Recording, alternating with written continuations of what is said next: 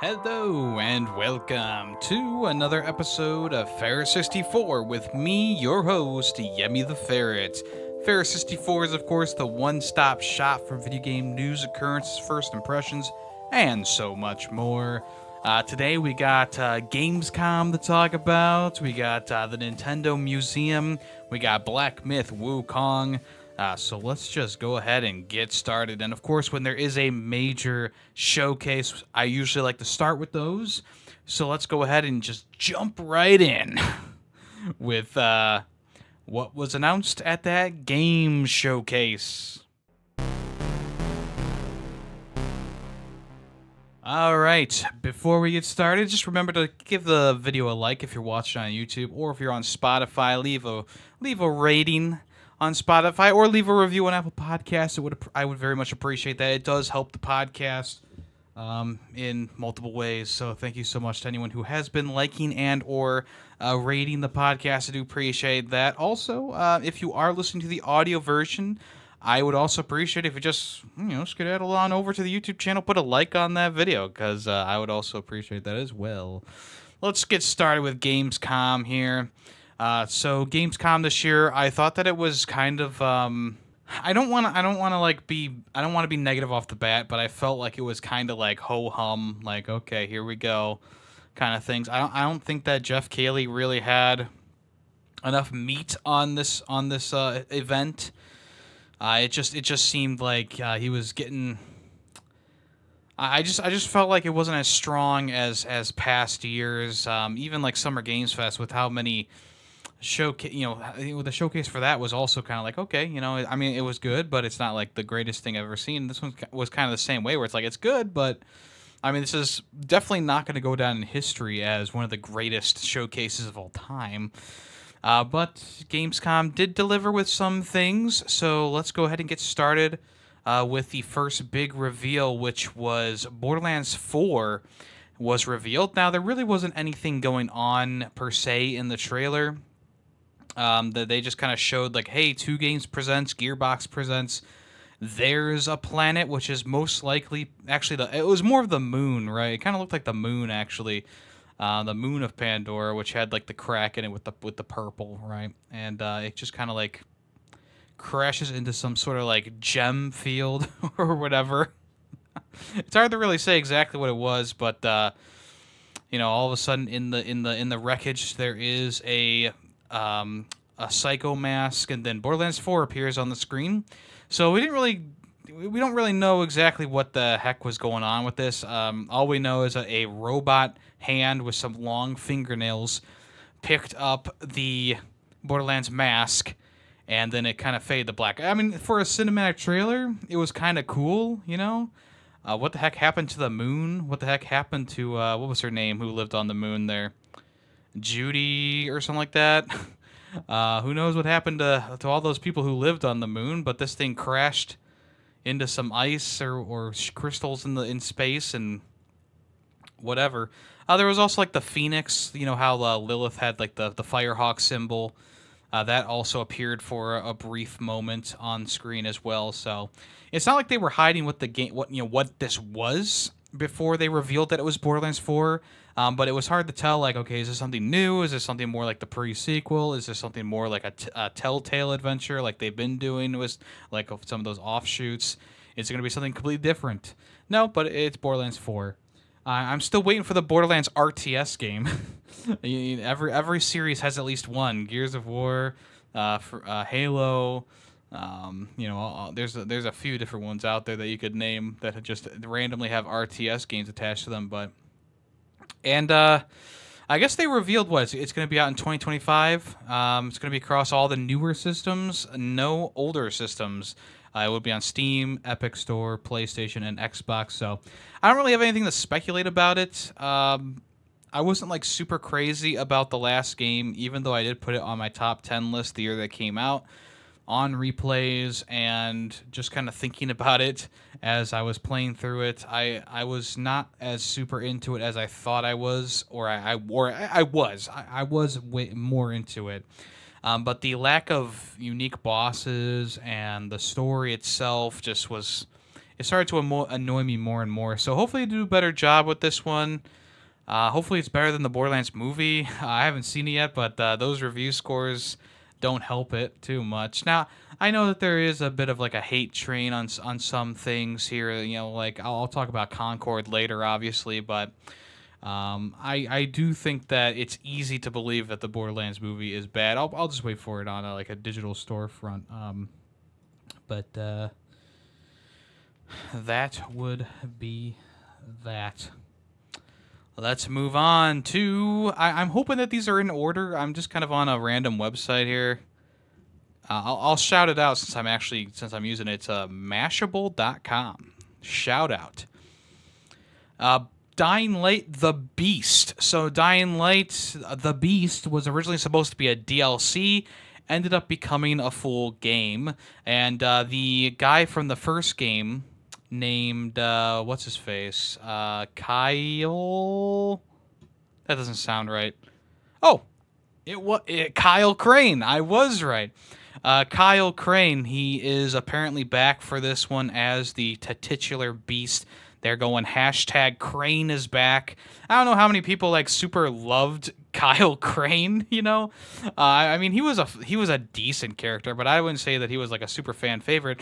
I mean, you know, there was a noticeable like lapse of him not being there in in the second game, obviously. But um, yeah, it looks like they're combining uh, some more of that like you know gameplay where you turn into like the monster or whatever you want to call it. I accidentally played it there, uh, some of the video there. Um, but uh, yeah, you know, um, I mean, the trailer looked cool, and I'm sure I'm hoping that the game is not going to be like uh, you know a seventy dollar experience. If they make it more like a forty dollar experience, especially if it was supposed to be a DLC, then yeah, there you go. Um, it's also interesting to note that this is not Dying Light 2 The Beast. This is just Dying Light The Beast. So I also think that is an interesting choice there as well. Um, It'll be about 20 hours of gameplay. There will be a new open world zone to do parkour in, four player co op, but it can be played solo. Uh, there is no release date or pricing yet, but it will launch on PC, Xbox, and PlayStation. Sid Meier's Civilization 7 got a release date. It is coming next year on the 11th of February, which is not too bad, pretty early on. Uh, the, the gameplay that they showed off so far does um, does not irk me. Um, I know there's a couple people who are like, "Oh, I'm out," um, but the, personally, I don't, I don't, I don't, I don't really see a problem with the gameplay so far. Now, I haven't really. I mean, I only skimmed the gameplay demo that they did, uh, but it seems like they are going with a style that's more like accessible to new coming players, maybe, um, which I think is a good idea. But it also does make it like, oh well you know, here here I am playing the seventh game. I've been with the series since the beginning or whatever. You know, if you're that old. Um, but uh, I, I think that I think that giving people a new starting point is a good thing. Although I do feel like Civilization Five is also a good starting place. I mean, that's that's where I started with the series, and uh, I kind of went kind of back and forth with Civilization Five. Then I went to four. Then I went to that um, Beyond Earth game. I think it was called. Uh, it was all set in space, which I thought was kind of cool. I, I, know that game kind of had, had its detractors, but I thought that uh, Sid Meier's Beyond Earth game was was pretty cool. And then uh, Civilization Six came out, and I wasn't like super into that one, but I, I played a, a, fair amount of it. But uh, you know, I, I, I haven't binged a Sid Meier's game in quite some time. Uh, Civilization Five, obviously, I have like I, I feel like I have like I don't even know how many hour, how many hours I would have in that. Probably thousands. Honestly, I played that so much with my friends back in the day, and um, everyone that I knew, I was like, "You got to get Civilization Five. We can play Civilization Five together." And it was, in, you know, it, it's it's it, it is a little bit tough to learn because there's a lot of systems going on. But um, once you learn it, it's it's smooth sailing, and um, you know, I think Civ 5 just had the best gameplay loop in general. I know there's some people who also say that Civ 4 was better, but I personally like five more, but maybe that's just because I'm a little bit biased because that was my first one. I don't know. Anyway, I am interested in seeing more about Civilization Seven, and um, I may I may pre-order it. I may not. Uh, you know, I don't know. Uh, good. Uh, you know, a thing to note on here is they are planning for a version on console. I don't know if it's going to be releasing the same day as the PC version, uh, but there is planned to be a PS4, a Xbox One, and a Switch version, along with a Steam Epic Game PS5, Xbox Series X version. So we'll see how that goes. Indiana jo- Okay, this is definitely not in order. Indiana Jones and the Great Circle had a a a trailer. Uh, they also showed that the release date for the game is December 9th, coming to Xbox and Xbox games for PC. I think this game is looking pretty good. I know there's some people who are a bit iffy on it, but I feel like if they're if they're if they're trying to capture the essence of what Indiana Jones is, I feel like they're doing an, a pretty good job with this game right now. Uh, obviously, I would I want to play it before I fully judge it. Obviously, I don't want to I don't want to sit here and go, oh, it's gonna be the best game ever because I I don't know because I haven't had my hands on it, right? Um, but I I do have high hopes for it uh, because you know I, I, do enjoy Indiana Jones, and I think what they've shown off has been good. After that initial like, oh, why is it in first person? Uh, kind of like, oh, I got to get used to that kind of thing. Um, I think that uh, it it will be a good time, and it seems like there are third person sections in the game.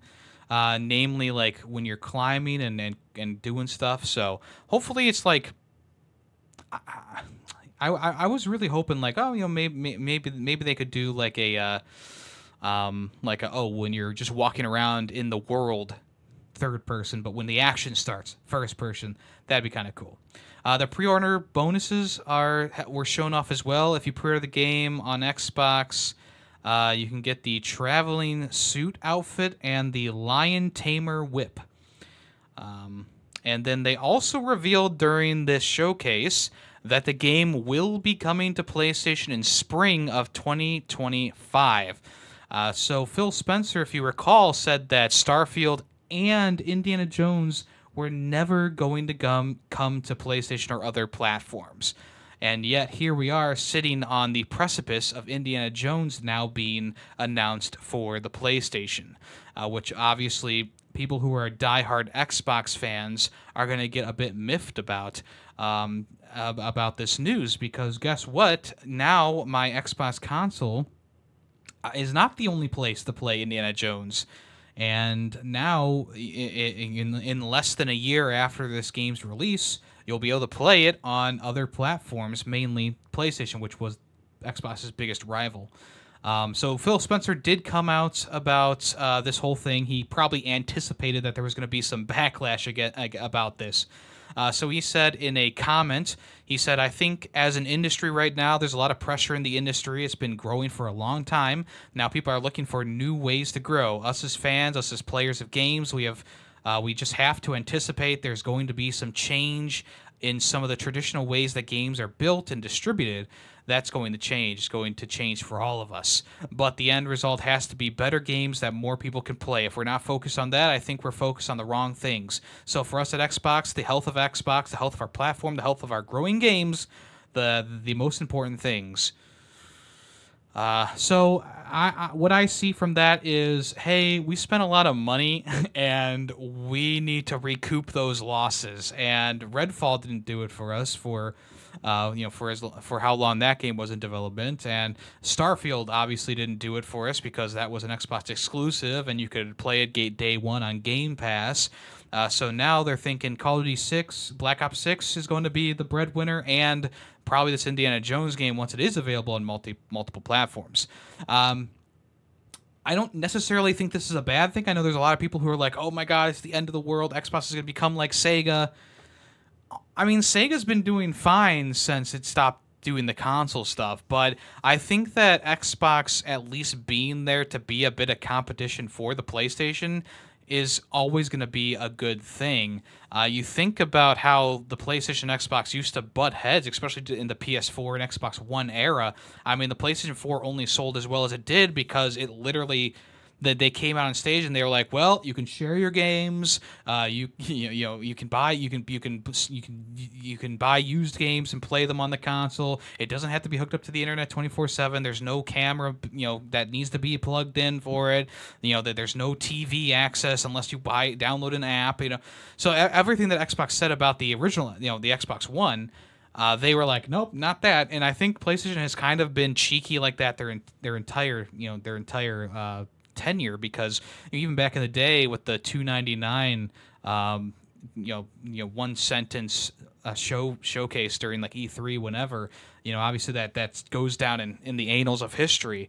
Um, so I think having Xbox there to at least be um, you know someone to duke it out with PlayStation because I mean, say what you want, but Nintendo, they're in their own space. They release their consoles whenever they want to release them. They release their games only on their platform. Obviously, Nintendo knows what they're doing. They make tons of money because of that. And at this point, PlayStation has their exclusive games, but they also work with a lot of other companies.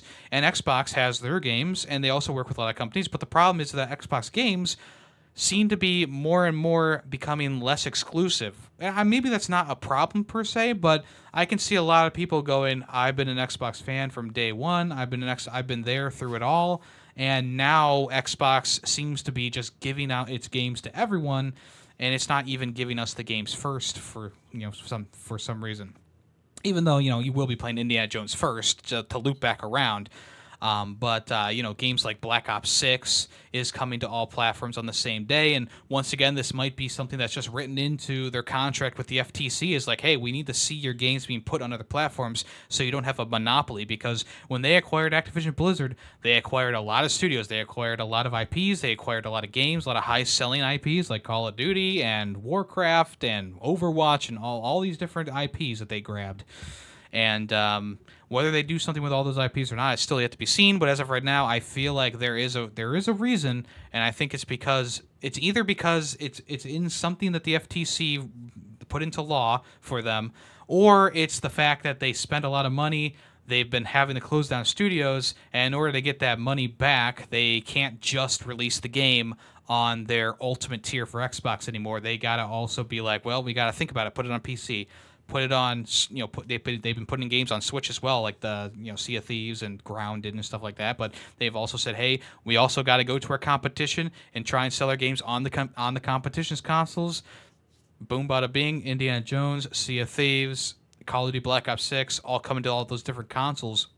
And um, i don't think there's anything that you're going to be able to do with it uh, about it. Uh, it's probably just going to be the way things are, and maybe this will be a a future thing. Like, okay, all of a sudden Xbox is out of the console game, or maybe this is just a a band aid part of their era where they're like, hey, we realize we don't have the money to not have our games on other consoles.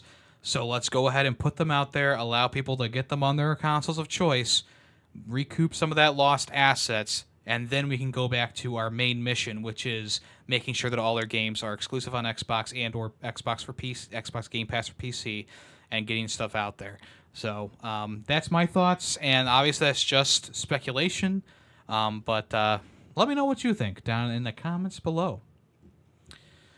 Uh, Marvel's Rivals is officially going to launch on December 6th, with all heroes being free to play, which is obviously different from how Overwatch 2 is.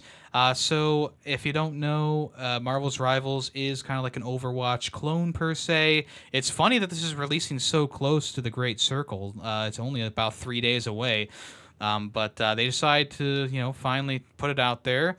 Um, I'm trying to see here. So it is on Steam, PlayStation, Xbox, and Epic Store. All those places it will be free to play. I'm pretty sure there's probably going to be some sort of like Game Pass or something like that coming eventually. Probably some cosmetics in there that you got to buy. In the Gamescom trailer, they showed off uh, Captain America and the Winter Soldier, who were kind of duking it out a little bit in the in the cinematic trailer, and then in the real trailer they showed off that uh, uh, the Winter Soldier has like an arm that can grapple onto people and pull yourself close to them. He also uses a pistol, which I feel like is kind of weird because his character has been depicted with a an assault rifle in a lot of different mediums for a long time, but maybe you know just to maybe the underpower his character. I don't know. They're they're bringing out a pistol there. Uh, Captain America obviously uses a shield a lot. He can uh, essentially absorb damage with the shield, then throw it. Um, he does not have a gun or anything, but he has a couple of smash moves and and, and powerful moves. He also has a it seems like some sort of shield blast they can do as well. And I'm guessing that that would also be like, you know, in, in conjunction with like Thor, you can do like a, a combo attack, a team attack. So um, I'll definitely be playing this day one simply because it is free to play. Uh, as for hero shooters, I'm not like the hu- uh, a huge fan of hero shooters, but I'll, I mean, if it's free and uh, you know I, I am feeling it, sure I'll, I'll play it for a little bit. We'll see how it goes. Uh, uh, or if I if I I'm, if I'm not feeling it, I'll just mark it as beaten and and move on. uh, but that's coming December 6th, like I said. Uh, keep it in line with like the uh, kind of like Marvel stuff. Uh, there is going to be a new series on Amazon Prime called Secret Levels. Um, and the reason why I say this is kind of Marvel esque is, is because all these studios are coming together, Avengers like, and creating some sort of like a massive uh, game.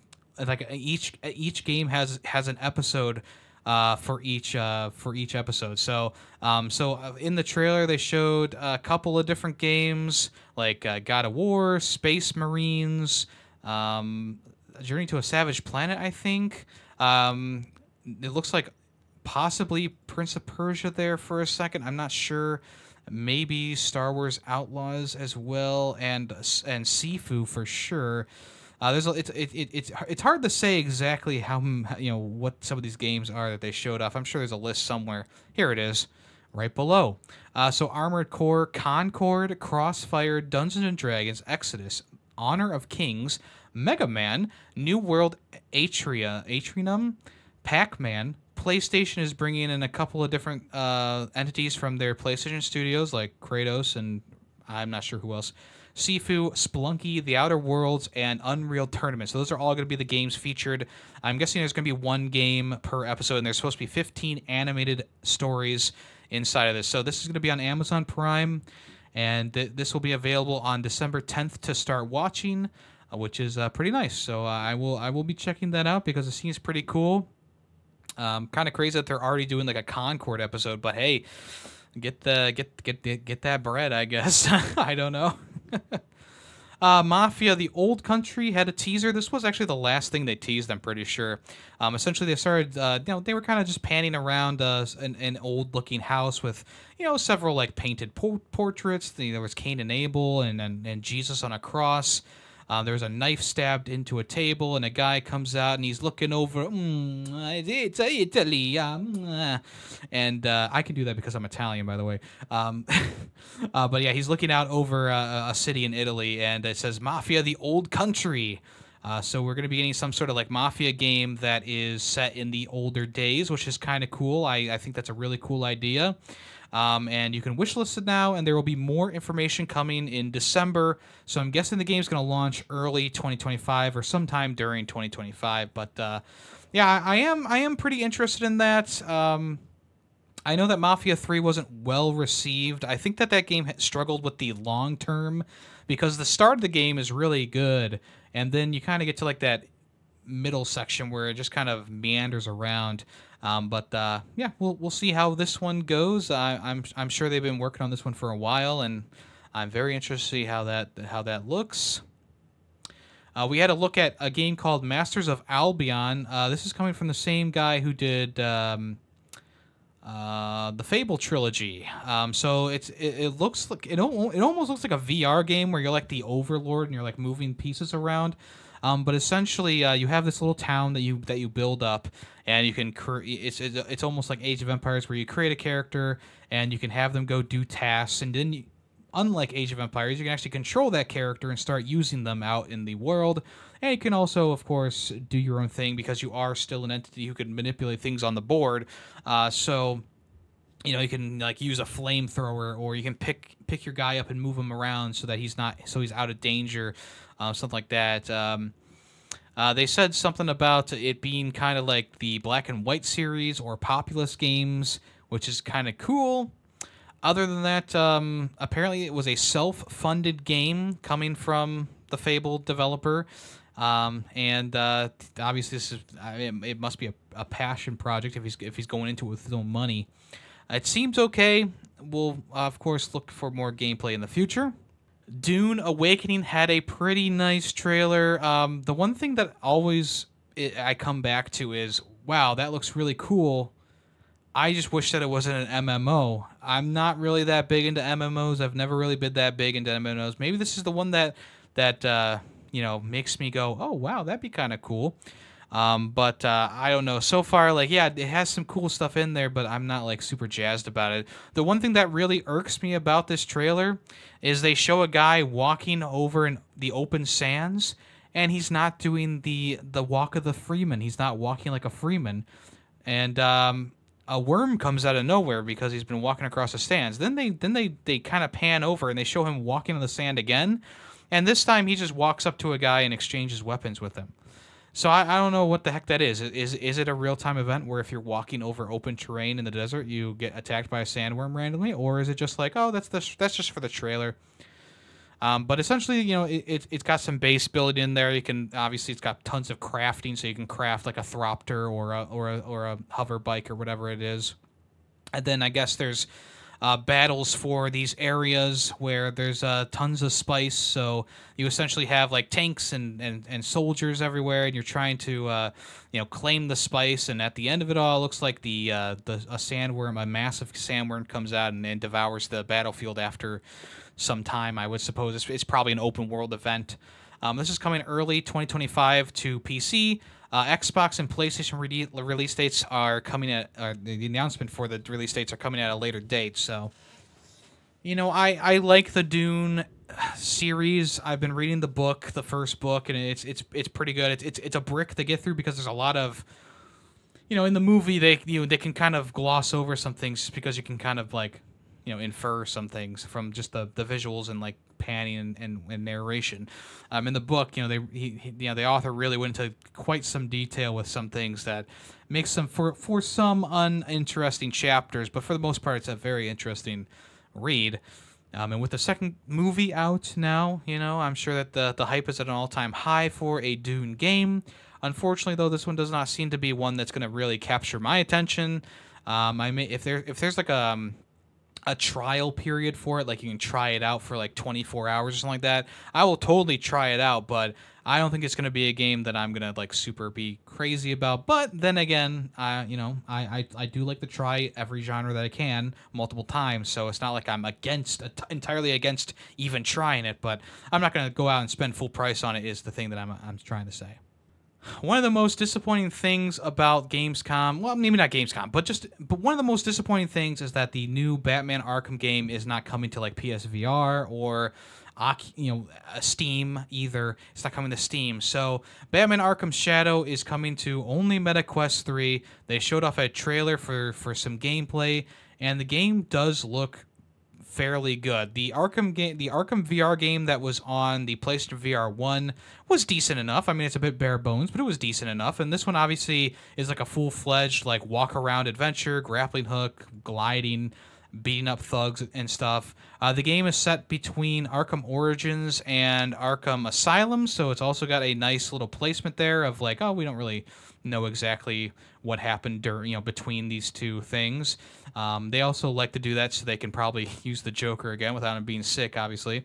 But it seems like uh, the combat system looks pretty cool. I'm I'm kind of watching the video right now just to describe it, but essentially you know you're playing in first person and obviously you don't have peripherals uh, in the vr world uh, so it gives you like a little indication that someone's about to attack you from that side so you can look at them and dodge and then and do countering a counter attack on them also it seems like there's a button somewhere on your headset that you can use to turn on your detective vision. Obviously you can pick up things and manipulate them in your in your hands and stuff like that um, I'm sure there's going to be like Riddler things to find as well, which is a staple of every Arkham game at this point. Even Suicide Squad kills the Justice League. And they also showed off that yes, there is stealth in the game, and you will be able to go up behind someone and choke them out. I don't know if you actually act, have to use your controller and choke them out like that. I don't know, but it would be kind of funny if you did. Um, obviously, this game is all based around the rat catcher, so that kind of solves uh, that kind of solves my question about you know oh if it's the rat catcher you know, he died in Arkham City apparently. So where they where's this going to fit? Is it going to be after Arkham Knight? Is it going to be after Arkham City? Well, with it being between Arkham Origins and and and um, and Asylum, that means that yeah, you can use the Ratcatcher again, and the Ratcatcher was in one of the. I've, I've said this before, but I'll say it again. In the in one of the riddles, you can find there's like a mask inside of a um, inside of like an air vent near the Joker's funhouse. You know, it says that you know the rat catcher was dragging, you know, c- captured and dragging and screaming into the Joker's funhouse, never to be seen again. So you can only assume that he died.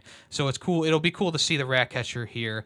Uh, I, I also paused it on this section. You can see that um, the ventriloquist with a, a very rudimentary looking Scarface is stand is, is sitting on a chair. I I'm not sure who's in the middle there or on the right, but uh, I'm, I'm sure there are two other characters that we know and love. Also, it seems like Harley Quinn's going to have a bit of a role in this one. Uh, a guy who kind of looked like the Executioner um, is here, but the Executioner died in Arkham Origins, so you know it's obviously not him, but he kind of looks like him, so maybe it's like his brother or something. I don't know. And uh, the Ratcatcher himself, I mean, he's he, he's got a nice design to him. I think he actually has a nice design to him. It'll, it'll be interesting to see what this game is all about. It's just so unfortunate that this game is just going to be for the PlayStation. Um, I'm sorry, just for the MetaQuest 3. Uh, that's a very niche s- system, quote unquote. I don't. I mean, it's it's a it's obviously a very high price point. You, I mean, I, I, I just I I have a, uh, an Oculus Quest like one, but I I highly doubt that it'll work on that system. You know, so that's the you know I, I have no way of playing this unless I go out and buy you know the the the, the two thousand dollar MetaQuest three. I really don't want to do that. That's a lot of money to spend on something like this. And I have a PlayStation VR two. Just put it out on PlayStation VR two. I don't know why. I mean, I don't know why this is being exclusive to the Oculus. Well, I guess I can tell you. It's it's because it's coming from Oculus Studios. But why WB gave Oculus Studios the the IP instead of whoever did the uh, original Batman Arkham VR game. Um, I, I, I can't tell you, but uh, it looks. I mean, the, the, the, the thing that irks me the most is that this looks really good. It looks really fun. It's a jump back into the Batman Arkham universe, which is going to be a crutch for WB for a long time now. And uh, it's just it's so unfortunate that it's going to be probably a limited release, and it's probably not going to sell as well because it's simply just on the MetaQuest 3. So it's coming in October, though. It's coming October 2024. If you have an Oculus Quest 3, boom, bada bing, there you go.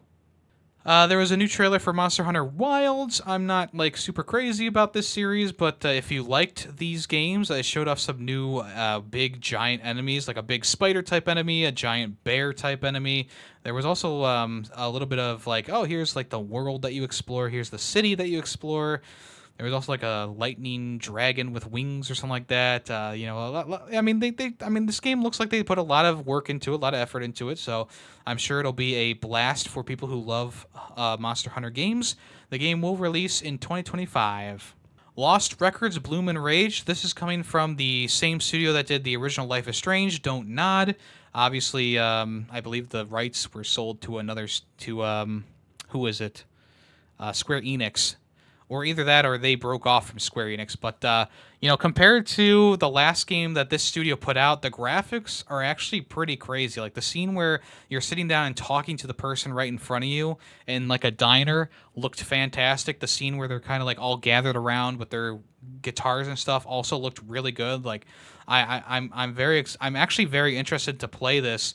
Um, there's also seems to be some sort of like you know pull up a camera kind of like an Outlast, where you can pull up a camera at any point and record things. And um, I think that's also a really good idea. Um, it, it looks good. I'm sure the soundtrack's going to be bumping as well.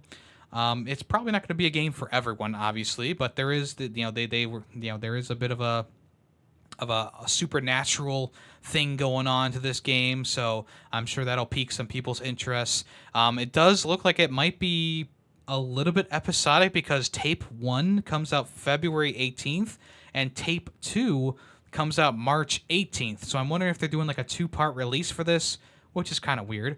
Um, that that era of gaming kind of you know kind of came and went at this point, but uh, yeah, it's coming to PC, PlayStation 5, and Xbox Series X. And uh, we'll wait to see more about this. It, it is weird that they're releasing it in two episodes. That is very weird. But the game does look good. I think they did it. I think visually they're doing a great job with this one. Um, apparently they haven't uh, they haven't made a game since Life is Strange. That's uh, that's that's kind of crazy. Or maybe I'm reading this wrong. Eh, whatever. I'll leave that in, but I- I'm probably wrong about that. Okay, um, this was actually early on in the in the event, so I apologize if this is out of order. But Black Ops Six had a campaign uh, showcase. I guess they kind of showed a bit of a campaign mission where you go kind of undercover, I guess, to some sort of convention, and um, uh, you know, John John uh, what's this? Bill Clinton. I'm sorry, Bill Clinton is there, not John F. Kennedy. I was gonna say John F. Kennedy. That's that's that's the original Black Ops. Uh, but Bill Clinton is there, and you're like taking photos of people, and you're trying to you know find out where the uh, secret operative is or whatever, getting some blackmail, I guess. I don't know. Um, but uh, that's that's the main thing there, and then. You go like behind the scenes and there's a bunch of dead bodies and there's apparently like a terrorist organization in there and the one guy from Black Ops 5 is is it 5 yeah, the guy from Black Ops Five is back, and he's like, "Oh yeah, hey, what's up, y'all?" Um, and they also showed off that there's a, there's a Juggernaut in the game, and blah blah blah blah blah. So you know, it, it, it's your normal Call of Duty schlock, really, but uh, it just it looks. I mean, the visuals look great, the gameplay looks fine for for for what it is. I mean, I enjoyed Cold War. Eh, the campaign for that, and I also enjoyed the multiplayer. I thought the multiplayer was pretty good too. So I'll probably play this for a while. It's just, um, I'll, you know, it's just kind of one of those things that uh, Call of Duty is kind of like one of those uh, games that I, um, it's it's it's, it's my uh, guilty pleasure every single year. Uh, even though I don't always buy them every single year, I usually do get, you know, at least you know get each Call of Duty eventually, whether it's on sale or whether it's day one. Uh, the other goofy thing is they showed off like a, a remote controlled throwing knife where you throw the throwing knife and you can kind of control it and then it explodes. Uh, Just just goofy things. Um, you know, obviously some fan favorite things in there as well, like at the RCXD and blah blah blah. Um, and the entire level ends with a motorcycle chase, which I'm sure is very bombastic. Um, but uh, yeah, you know, for you know, uh, for Black Ops Six, it doesn't look bad. You know, for the game that's coming after Cold War, I feel like they need to stop with the Black Ops naming convention and just do stuff like Call of Duty Cold War or Call of Duty Black, you know, Black Ops, uh, you know, with with another with another name underneath it because I just feel like it's getting kind of ridiculous. You know, back in the day when it was like Black Ops One, Black Ops Two, woo. And then it's like Black Ops 3, Black Ops 4, Black Ops Cold War. It's like, okay, oh, here we go. Um, the same thing's happening with like Modern Warfare as well. It, would be in like the, you know, Modern Warfare 6 if they didn't reboot the series, you know. Um, but uh, yeah, um, I think the gameplay looked fine. I'm not like gonna be. I'm. I'm. It's. I'm. I'm gonna be playing the game because I have Xbox Ultimate, but um, we'll see how it goes. We'll see how it is. And um, oh, the other thing I want to mention is that the people who came on stage to talk about Black Ops Six were not very personable. They. Uh, they. Um, they were very monotone, and they didn't seem to be very interested in what they were talking about. All right, a bit of a surprise announcement: Goat Simulator Remastered. The original Goat Simulator is getting a remastered version. Uh, there were a couple of things that um, they kind of harkened back to, like uh, they had like the Arkham intro, and then they also had the Skyrim cart coming by, and they also had uh, some old niche like I don't even remember what it was from, like War Warhand, like War um, Warcraft reference. They also had like a GTA reference in there as well. And in the end, it was just the Goat Simulator, you know. And uh, personally, I played I played Goat Simulator back in the day, and I don't. Yeah, this was one of those. This was one of those reveals that I was like, "We really doing this? We're really doing this." Uh, but here we are, Goat Simulator remastered. Uh, that will be out sometime. Uh, what next year? Probably. Coming. Actually, no. It's coming 2024. It's coming across all systems. So there you go. And I guess um I guess that was it for the the big reveals from Gamescom. I know that there were a couple other things like in the uh uh let me see here. In like the um like the pre-show, like there was a game called Croak which looks pretty good where you play as like this toad that's trying to become a prince again and it's kind of got platforming like Celeste except you use your tongue to grapple grapple onto um, surfaces and stuff like that. I'm trying to look at a different list to see if um, to see if I can find the pre-show stuff. Okay, so other things announced during the showcase as well, pre and post. Uh, Dave the Diver is is doing a collab with both Balatro and Potion Craft, so that'll be interesting to see what that's all about. Also, Sniper Elite Resistance is coming in 2025. This is a game based um, in, of course, the war in France during World War II. I know that we had Sniper Elite 5, which was also based in France, but this one seems to be based in the occupation of France instead of the invasion of France. It looks like there's going to be some, like, not just sniper combat in there. Um, sort of like how the VR game was. The VR game was a kind of like a mix of, like, um, sniping and, like, regular stuff. Another game called Begone Beast is coming to early access. Uh, seems like a top-down roguelite experience. Uh, that's coming in February 2025. Um, there's a game called Nikoderiko: The Magical World, which is a platformer, kind of kind of like an old school platformer where you you you, you get uh, gems and letters to form a to form a word, and you go through things um, very fast. Uh, that's coming in October. Seems actually pretty good. Um, Mentoria had a thingamajiggy. Um, Cairn, which is a climbing kind of game, uh, very much rem- reminiscent of uh, Jusant from last year, uh, but uh, one, you know this one looks a little bit more hardcore. I think we already saw that before. A horror game called We Harvest Shadows is a farming horror game. So you, you're on this like farm and there's like spooky things everywhere. There's a demo on Steam available right now. Revenge of the Savage Planet was also shown off. Uh, this is a sequel to uh, the other game called um, Journey to a Savage Planet. So that that's coming. It looks relatively the same. Uh, whew. A game called Directive 8020 is a sci-fi horror game, kind of in the same vein as your Callisto Protocol or Dead Spaces. Looks kind of interesting. Um, they showed off Terry Bogard in Street Fighter 6 a little bit. Looks okay. Uh, they also had a little trailer for episode Aegis for Persona 3 Reload. Not sure about that. Uh, King of Meat was announced. This is a game where you build your own dungeons, I guess, and you try and, and people try and finish them, kind of like uh, what you call uh, kind of like um, Meet Your Maker from, uh, I think that was last year. I, I enjoyed that game. Uh, another game called No Room in Hell 2 was shown off. Uh, this is a zombie game. I'm not sure what exactly it is. It kind of looked like a Left 4 Dead for a little bit there, but obviously it's not. Uh, Arc Raiders is coming in 2025. This this was shown off at a PlayStation State of Play a long time ago, so uh, that's the new place that we're at now with that. Infinity Nikki had a new showing. Uh, this was originally showed off at a State of Play as well, and it is a PlayStation exclusive and Epic Store exclusive. Also, it's coming to Google Play Store and I and uh, and the Apple Store. Um, but this uh, is looking like a really bizarre, crazy adventure. Uh, not a game for me per se, but looks decent. Um, also, the new game from Ta- Tarsier Studios called Reanimal was shown off, uh, which kind of just looks like a, a little Nightmares game, but it's a bit more gory, I guess, a bit more um, animal animal centered. Uh, you can wishlist that now. They also showed off a trailer for Little uh, Little Nightmares 3, which also looks pretty good. They announced that Genshin Impact is also coming to the Xbox Series X on November 20th. Who knows what happened to the Switch version of that game, but uh, there you go. Um, what else is in here? Fatal Fury City of the Wolves is coming April 24th. I believe this is a re-release or remaster of another Fatal Fury game. That one looks pretty good. Uh, Monument Valley. This is a exclusively Netflix game, an exclusive Netflix game coming December 10th. Uh, looks like a puzzle game where you move and shift the environment to work your way through. Um, Starfield's Rev 8 update is free and it's actually already available now. Uh, this is the update that adds a vehicle that you can use, which is a very good idea.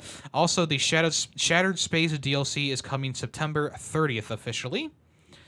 A game called Herding, Herdling, Herdling is coming in 2025. It looks like a game where you play as like this uh, dude who herds animals, some various animals, and you try and get them to different places. Looks okay. Um, ba, ba, ba, ba, ba. Squid Games Unleashed. This is also coming to Netflix as well. It doesn't look that good, but uh, what what do you expect from a Squid Games game? Uh, uh, well, I mean, I do expect a little bit more from a Squid Games game. I mean, it looks like Fall Guys, except you use like these generic characters. Um, the guy with the with the golden mask also looked kind of terrible, in my opinion. Uh, game called Arena Breakout Infinite was shown off. This looks like a multiplayer hardcore experience. Early access is available now. and The, the full release is coming at the end of the year. Uh, Warcraft announced a Warcraft Direct show for the 30th anniversary, so we'll get more information whenever that is. Uh, the first Berserker Khazan had a new trailer. There's going to be a technical test on October 11th, and it'll be out in 2025. This game looks pretty good. It looks kind of like a Souls-like, very bloody, kind of gory looks pretty good. I, I, I think I'll definitely check that out. Floatopia is an Animal Crossing s game that's coming to most systems. Um, it, it it's exactly what you it's exactly what you think it is. It's a it's a game that looks like Animal Crossing. And then I'm trying to see if there was anything else. I think that was it for now. For now. Um, but uh, yeah, so I guess I missed a couple things from that article, um, but there you go. Um, boom, bada bing, bada bing, bada boom. Uh, so all in all, I thought the Gamescom presentation was fine. I I wasn't like jumping out of my seat, going crazy, but uh, you know, it, it was decent enough. I, I thought it was fine. Uh, then also Xbox also had a bit of a stream for it. I'm just gonna quickly go through these because Oh wow, we're already 47 minutes in. Oh my gosh. Uh, let me just go quickly through this. Indiana Jones had another trailer. It looked it looks good. Metaphor ReFantazio had a special interview with the developer and a new trailer for the game. It's coming out October 11th. Uh, the game looks good, but uh, I don't know why they're not just calling this a Persona game because it literally looks like a Persona game. Squirrel with a Gun is getting a console release on October 15th. It's officially been confirmed. Squirrel with a Gun is a sandbox game where you play as a squirrel with a gun, if you didn't know. Uh, Path of the Exile 2 got some gameplay. Uh, it looks fine.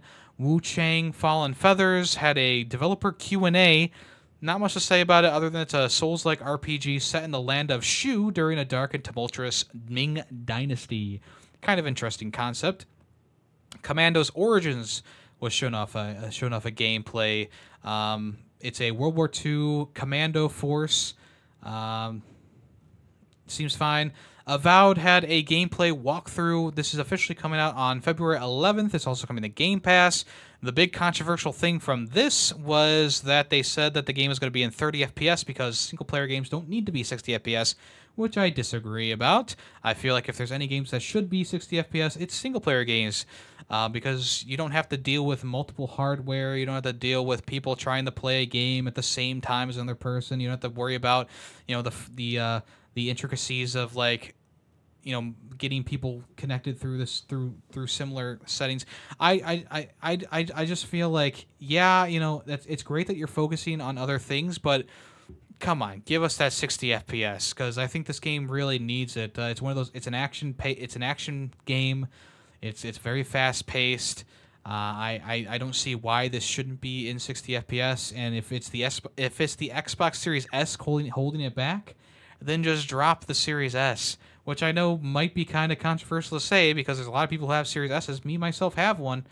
But if that's what's holding you back from creating a truly next gen experience, then just drop it for now and release it at a later date for the S. Is it? I mean, I I don't know. Uh, they also had an Ara History Untold interview and gameplay walkthrough. It looks pretty good. I mean, I'm not gonna lie, it looks pretty good. Is it gonna be better than Civilization 7? I guess we'll find out on September 24th. And then finally, at the end of the showcase, was a bit of a surprise for me personally because I've been looking forward to this one uh, very much. Uh, they showed off the next um, uh, Tales of Fury. Uh, I'm sorry, Tales of Iron game, Tales of Iron 2. It's officially coming to PlayStation, Xbox, etc. next year in February 20, of 2025. So I'm very excited, but I'm gonna have to wait a little while for that one, I guess. Very excited for it though. I, am I'm, I'm hoping that it's gonna be a good one, um, but it looks good. So you know, that, what what more can you ask for? But uh, have to wait a little bit for that one. All right, let's go ahead and move on to what have I picked up this past week? All right, we're going to start off with a game that I've had for a little bit. I actually got this game kind of right before I started doing the pickup stuff. So I, I did say that you know on weeks that I have a little bit less, or maybe nothing at all, I'm going to start going through some of my older older things. And uh, we have Sonic Heroes there. I have there's a sticker over Knuckles, which is unfortunate, kind of like Mike Wazowski from Monsters Inc. Uh, I picked this this one up because uh, obviously uh, it's a classic game in the Sonic series, but it was also complete in box, which you know I love to see, and it was pretty cheap, only about twenty five dollars. Um, very, I'm, I'm, I'm interested in in, in in finally playing this one. Seems pretty good. I got two games on sale from a website that that, that uh, uh, what was it called like v something or i don't remember exactly what it's called but uh, there were two games that i've been waiting to get for quite some time because the first game man of medan i didn't really like like like but i was you know i was like okay whatever um, but uh, these two games are only ten dollars a piece, and I, have been waiting to pick these up. So we have uh, The Devil in Me, which also is a free PS5 upgrade. So even though I have the PS4 version, it's a free PS5 upgrade. So that's new in box.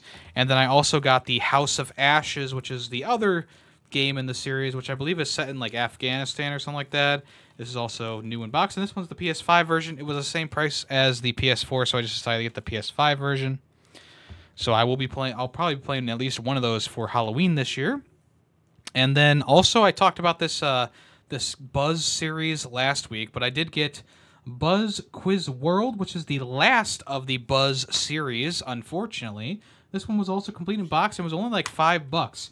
And you know why? It's because you have to have these buzzer controllers to play the game. And you might be asking me, yeah, I mean, you don't do you have any of those? And I will tell you this right now. Uh, I I got a an incredible deal for you folks. Let me get this. I got the original Buzz Quiz TV game on the PS3 with four Buzz controllers.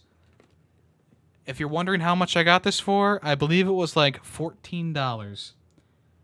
$14. This usually sells for like 30 and I got it for $14. It's in great condition. The outer box is a bit rough, but the inner box is pretty good. All the controllers seem to work pretty well as well. Uh, so, oh boy, I don't want to drop anything. Hold on. so we got the uh, we got the game itself, Buzz Quiz TV, complete inbox. Looks pretty good.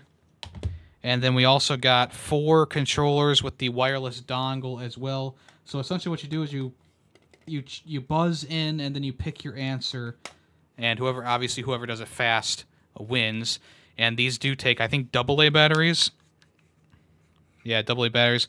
Looks like I'll need the yeah, looks like I'll need to clean in there. Looks like someone left the batteries in them for a little bit too long before they took them out, but uh, that should be no issue. Um, but I was looking for, I was looking for, I, I, I, was looking for just controllers for quite a while, and then I saw this uh, bit, uh, you know, this auction for this entire set, and I was like, no one's bidding on this. Obviously, this is a very niche thing to want, but no one was bidding on it. It was a brand new seller. I literally stole this from them. I'm, I'm not even kidding. Like I literally stole this from them for fourteen dollars and fifty cents or whatever plus ta- uh, plus shipping. So it turned out to be like twenty five dollars in total. This is a great steal, and I don't know how I do it sometimes. I'm just a little bit lucky, I guess. All right, let's go ahead and move on to what have I been playing this past week. First up is Black Myth Wukong. Uh, this is the Souls-like game coming from that Chinese studio that uh, everyone has been raving about, and I was going to wait on it, but I was, I was tempted into getting it because the game looked so amazing, and I was. I was on Steam and I was I was like, oh, the game's out but I don't want to get it right now because it's you know I, I, there's a lot of games coming and maybe I'll get it on like a sale. But then I was watching some gameplay of, of a guy fighting uh you know just some bosses, and I was uh, or a boss not bosses but a boss and I was like this looks so cool it looks so well done. I can't skip this one so I did end up getting Black Myth Wukong and might I say that this might be one of the best Souls like experiences that you can ask for. Um, it's not super difficult, at least not right off the bat. It seems to gradually get more difficult as the game goes on. There is a fair amount of exploration in the game, but also there's a there there are like there's like a boss rush like to the game as well. I the game is the game is simply beautiful to look at. You know, like this this is one of those games where you're playing it and you're like, I can't believe this is a fucking video game. I mean, when I started gaming, it was the N64. It was polygons. It was this is the best graphics. You can't get any better than this, right? And then the GameCube came out, and the PlayStation 2, and the Xbox 360, and the PlayStation 3, and games started looking better and better. And now here we are with Black Myth Wukong, which is probably one of the best looking games to come out this year, next to like Final Fantasy and Dragon's Dogma. Like this is one of those games that they've been working on for quite some time. You can definitely tell that there's a lot of passion and and artistry put into it because gee dang, goddamn, does this look? It just it looks so good and it also plays really well as well. Uh, so if you don't know Black Myth Wukong, it's a story of the monkey guy, the Monkey King, um, and essentially uh, he uh, the Monkey King gets uh, gets gets cast down, gets struck, gets striked down by the other um, mythological gods uh, uh, from from China, from China Chinese lore, and um, you are. I, they're kind of leaning towards like, oh, you're kind of like either the protege or the you know the re- reincarnation of this monkey king, monkey god. Um, so you start off and you're obviously very weak. Well, maybe not very weak, but you're just kind of like you know you're just kind of like you know loosey goosey. You're kind of like a young a young a young chimp. and uh, you just kind of start building your character from there and, and starting to take on like wilder and wilder wilder creatures. Um, so right now I'm a, I'm pretty I'm I would say I'm pretty far in the game. I'm not like halfway through or anything like that, but I'm definitely towards the end of like the first section. I would say it's hard to really tell you exactly how far along I am because you go into an area and you beat like a couple enemies and you know you go through like the you, you search around this area and then boom they, they hit you with a with a with a boss whether it be a mini boss or a full-fledged boss. The distinction is very weird in this game because there is a wandering boss that you can fight in one of the first areas who's very tough and you feel like oh i shouldn't be fighting this guy yet. This is the guy that come back and fight but no, the other guy who you, you can fight is is the side boss because the main path is past the guy who's very who's kind of tough, right? So it's it's a very weird distinction. Like, was the guy that I fought who had like a cinematic opening, but his but it was literally a, a dead end after you fought fought him a main boss, or is this random wandering guy who doesn't get an introduction a main boss, or was it a side boss? It's hard to say. Uh, I don't really know. There's so many of these bosses that you encounter that's like, is this a main boss? There's an opening cinematic for him. It's very epic, but he goes down quickly, or you know, it's not like. Uh, it's there's there's just nothing to do after you fight the boss. You go around in a, to a different area. It's just it's it's it's kind of weird in that way where it's like I don't know if I'm actually fighting bosses or if these are just strong enemies or these are side bosses or these are mini bosses. I don't know. There's there's really no distinction because so many enemies in the game uh, not just like regular enemies, but so many enemies with like a health bar at the bottom, and they got all this dialogue, and they and they have all these moves. They get this these crazy cinematics, and they're doing their whole thing, and it looks it's it's awesome, obviously. And then you fight them, and you're like, okay, I beat him. Wow, that was a great fight. Where is why is there nothing here? and then you go around to a different area, and like now here's the here's the boss that you want to fight, right? And it also, there's other times where it's like a boss rush where you fight a boss, then you go to the next area and it's you know it's like a winding path and then you get to the, the next area and there's a boss there and he's more difficult than the last guy and you're like okay. And then uh, i did like a side boss too so this boss rush was like four four bosses deep so you know i do the third boss and then i get a side boss and he's like really he, he's kind of difficult too and I'm like, wow, okay, that was kind of cool. And you go back, and now you're, you're back on the main path, and boom, they they hit you with another side boss after fighting a few, not a side boss, like a main boss after they after fighting a few of the side character, you know, side enemies, and going through a side passage. So it's a very interesting structure for a video game, uh, especially like a Souls game. It's definitely not like anything that I've played before in the Souls like genre. And obviously, it just kind of wears that Souls like monk here, no pun intended. Um, because it is, you know, like okay, you die, all the you know, you the, you rest and all the enemies respawn. It's a bit hardcore at times.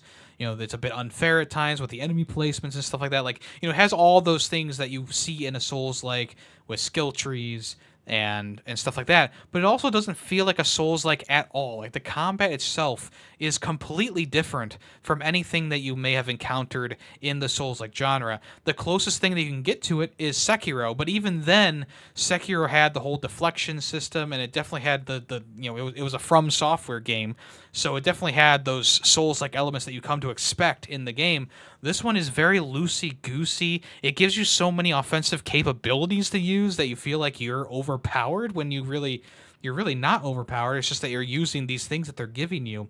And I can hear it already. In in my mind, there is a guy in the back of my mind saying, oh, you use the spells. That's cheating in this game. You don't actually, you're not actually beating Black Myth Wukong if you use the eh, the immobility spell on the bosses. I can just hear that argument in the back of my head from a niche group of people, and it's like, no, no, no. They're giving you all the tools to succeed in the game use those fucking tools. I'm not gonna bang my head against the boss for you know t- for ten hours straight because I refuse to use the magic spells that they give you in the game. No, one, the magic spells are fucking cool. Okay, they are so cool. The the uh, the immobilization spell is so worth it to use, especially when the enemy is about to do like a big giant move. You point at him and, and you give him the the middle finger and uh, he freezes and you can get some extra damage in there or you can use it as a time to heal without the pressure of having to dodge something right after. It's it's a it's an incredible feature in the game. Uh, there's obviously more spells you can get along the way but as of right now i have the immobilization spell and i have a spell that allows you to transform into a past boss that you may have defeated. So one of the first bosses that you go against is a like fox man who has a double-sided like spear and it's got fire on both ends and he can light you on fire. Well, now you can transform into that boss and actually use some of his move set to light the enemy on fire or just get a bunch of damage off before he expires, which is really cool. There's also another boss that you can use uh, in the same way as well, who has like this giant fan and he's like whirling, he's like making like winds and stuff that can damage enemies, and he's also pretty good. But I've been using the Firefox as most people have. Um, you also like there's a lot of different systems going on so it is a bit crazy but there's also a system of like the side bosses that you fight in the open world they can leave behind like remembrances that you can use. So if you press rt and lt at the same time you actually transform into that boss and you do a single move instead of being the boss for a little while you do a single move like the big head smash from like the first side boss. And uh, you know that does a lot of damage obviously a lot of poise damage as well and all of that it, it, you also have a whole nother system uh, for your healing items. Uh, you have the regular healing jug which is obviously going to heal you but then you also have like medicines and and herbs and stuff that you can use to do constant healing or poison resistance and stuff like that on top of all of that, the move set of your character is also very deep, and the skill tree has a lot of things that are very interesting that you don't normally see in a Souls-like game. Uh, there's three different uh, stances that you can use, and you can actually switch between them during combat if you so desire. Right now, I'm just using the strong stances. I'm sure most people are. Uh, if you hold down the heavy attack button, which is Y or triangle, um, you do like a big hit. And uh, to do the big hit, you need to fill up a meter with by holding down Y. You need to fill up a meter, and then you get a little a little glowing white ball next to the meter, and that tells you that your move is ready. If you dodge during this charge up, or if you get hit during the charge up, it resets the meter. Um, so first off, you have one little ball you can fig- uh, you can fill. As you progress your character, then you have two balls, and then finally three balls, which does a more damaging attack, and the move changes. There's another stance that is like the high stance, and essentially what you do is you hold down Y or triangle to elevate your character up on his staff, and it, it, it goes boom, boom, boom. There's three tiers to it, and uh, it actually gets you away from the enemy. One and two, you do like a big attack if you if you get it get it filled up the, all the way. So it's very cool. The normal move set is also pretty cool as well. There's a lot of different combo kind of things you can do. So you, you, you press X to do light attacks. You can mix in some heavy attacks in there. Obviously, the dodging is very loosey-goosey. It does kind of remind me of Sekiro in that way, except it's even more loose than that uh, because you're using a monkey, so he's jumping all around. If you do a perfect dodge, um, it slows down time a little bit, allows you to maybe get a hit in. Um, it also allows you to kind of keep track of the enemy a little bit easier, especially if they're a faster enemy. Um, also, perfect dodging will fill up that meter as well that I was talking about you hold down Y for. Getting hits on enemies also fills up the meter a little bit as well. Uh, so there's several ways to do that, of course, which is very nice. I really like that a lot. And other than that, you can jump in the game. It's not been really useful so far, but you can jump in the game. uh, there's like there's not really like a parry system, I guess, but uh, there is like a move that you can do by holding down LT or L2, uh, where you can kind of like spin the staff around you and it blocks uh, projectiles as long as you have stamina, which is kind of cool, uh, very interesting. Uh, and all these things can be improved and upgraded. So, Black Myth Wukong has been really cool. It's been, in my opinion, and I'm sure that there's other people. You know, obviously everyone's experience is a bit different. So if I'm, eh, so if I'm, what I'm about to say, if that makes you angry to hear, I'm sorry. It's just, it's my experience with the game. It's been a bit easy so far, and it's probably because I'm not past that first big like section of the game. Um, but I have been beating most bosses in two to three tries. One try to kind of get the feel for the boss. Usually I'll die because you know I don't know a move or something crazy happens, and then two or you know two or three after that to just kind of you know get down the move set and then beat them. So it's it's not been incredibly difficult so far, and I think it's because I've been utilizing everything at my disposal. I'm sure the game will start to pick up the difficulty after this section that I'm in right now, but this forest section seems to be kind of the beginner area or or maybe the easy area of the game. Um, if it's not, I'm sorry if you're having trouble with the game getting through it. I just I I'm just maybe I'm just clicking with it more than other people. Um, but I, I do feel like the this this first area, this first whole adventure for part of the game, has been a bit easy for me at least. Um, but uh, you know, I, I guess if you're struggling with the game, you know, just maybe look at your different skills. Maybe you don't have a skill unlock that you kind of would need, and it doesn't take too long to unlock the different, you know, unlock a skill point. They're called sparks in the game, I'm pretty sure. But to unlock another spark, you, you just you just you know kill regular enemies or even bosses, obviously. Uh, but there are sections where you kind of go back and go through and, and kick the ass of all the car- all the enemies there, and then you know get a spark point and spend it on something. Um, so maybe just go in there and look and see like oh i don't have a spark put on extra stamina or extra health or you know maybe i should activate this new move that i can do that would that would be uh, better for my character you know there's so many different ways to kind of improve your character and stuff like that i, I feel like um, if you're struggling with the game just kind of maybe maybe look at your skills first off um, two uh, get good. No, I'm I'm kidding. I'm not that kind of guy. Two, um, definitely get down your dodging is is another thing that I would say because enemies will most bosses and enemies will give you an opening to either do a charge attack or a combo. So be very mindful of when to dodge attacks. I think that'll really help you out a lot. All these I mean every boss in any Souls like is going to have a move set that you can learn. So getting down the different moves that they have when you can dodge and when it's okay to attack is big, especially in a game like this where your character really doesn't have a lot of health. Um, you, can, you can only you can take about three or four hits before you either need to heal or you're dead. so if you're struggling, that would be my main thing. There is learn your your dodging. Um, that'll very much help. If you get the perfect dodges down, then you won't have to hold down the uh, the the heavy attack as long to do a heavy attack. The other thing too is utilize that immo- immobilization spell. You get that very early on. Uh, it, it, works wonders. It really does. Don't forget about that. It recharges pr- fairly quickly. I can usually use it maybe three times per mat per per boss fight. More if there's multiple phases. So definitely use that if you're early on. You only have that spell. Definitely abuse the shit out of that. The other thing that I would like to say is be mindful of the enemy's poise. A lot of times you can start doing a combo on an enemy and they start doing an animation for an attack. If you just hit the X button one more time to finish off that combo, sometimes it will stagger them. Obviously, it's a bit risky, but if you get that stagger in, then you can do the heavy attack and they're staggered again. Pretty cool. So if you can't tell, I am very much in love with Black Myth Wukong right now.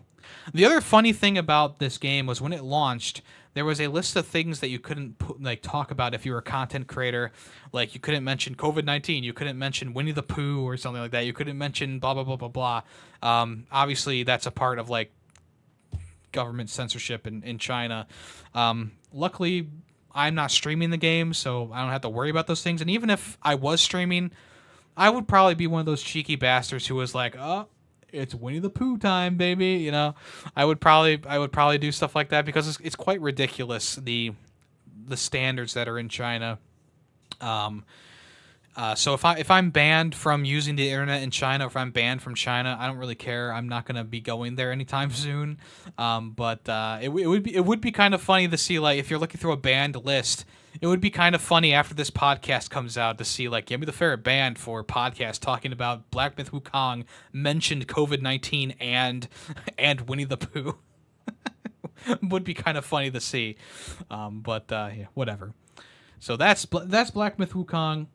I'm very excited to continue playing it, and um, yeah, check it out if you want to. All right, I've also been playing obviously more SteamWorld Heist 2. Um, I've I'm pretty far in the game now, so I can now actually submerge the submersible.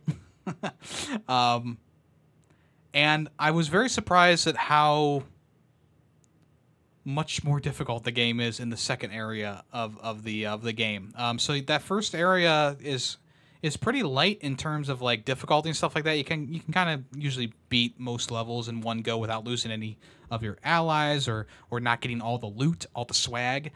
Uh, but the second the second area, like the main area of the game, really cranks it up a notch. Like it, it's like a full like two steps above in terms of difficulty, which was shocking. I was I was shocked at how difficult some of those levels are starting to get. So I have taken a little bit of a break because I was I was starting to sweat, get a little bit frustrated with it. So I wanted to take a little bit of a break. Obviously, Black Myth Wukong came out, so I decided to spend some time playing that over the week as well. Um, but uh, I'm happy to say that you know SteamWorld Heist 2 is starting to. I mean, it was already really good, but having more difficulty in the levels is obviously something that I do like to see in games like this where you're building your characters and you are using your tactics to get around things like I, I, I just I, I like to see that steady increase in difficulty. This was more of like a shocking increase of difficulty, which maybe is a bit of a negative, but it's also like, yeah, you know, it, it it's fine. Um, I'm sure once I start to get better weapons in this area, it'll become a little bit easier. Um, the character designs have been awesome in the game. Like I just got this um, crow type character who um, has like one of those old like uh, those old masks. Um, what do you, what do they call it? The plague doctor masks. And uh, that was a she's a pretty cool character. I put a gave her a shotgun to give her that uh, that um the the uh, what's it called I haven't played in a couple days, so I'm kind of blanking on the name of the class right now. But it's a class where you can kind of like wheel and deal. I think it's called, where you you can you get bonus damage from being behind an enemy, and you can move farther. Um, so very cool. Very much still enjoying SteamWorld Heist 2. Check out Steam Powered Giraffe's new album, not sponsored. Uh, it's very good. I, have been really enjoying the songs from that album. They just released a new uh, a new music video as well for um, the one of the songs on the album. So it's very fun. I'm very much enjoying my time with it. I will get back to it probably this week. Um, I just need to take a little bit of a break from it because it, it is getting a bit like it, it's getting a little bit hard. I will say, um, but I'm sure that, like I said, once I get the better weapons and uh, I get I get my characters leveled up a little bit more, I think we'll be okay. But um, yeah, as of right now, pretty good. And you might be wondering, oh, you're already in that big the next the next big area. You must have skipped a lot of stuff, huh? No Callus. I did every mission three stars, except for one. I, I did not go back and get the full stars on it because it was it was an annoying one. But uh, I did every mission before leaving the area and going to the next one. Okay, So don't poo pee poo me saying, "Oh, you're not exploring the map." I explored the entire map, got all the stars, got all the swag that I could, uh, except for maybe I think one I did not go back and redo.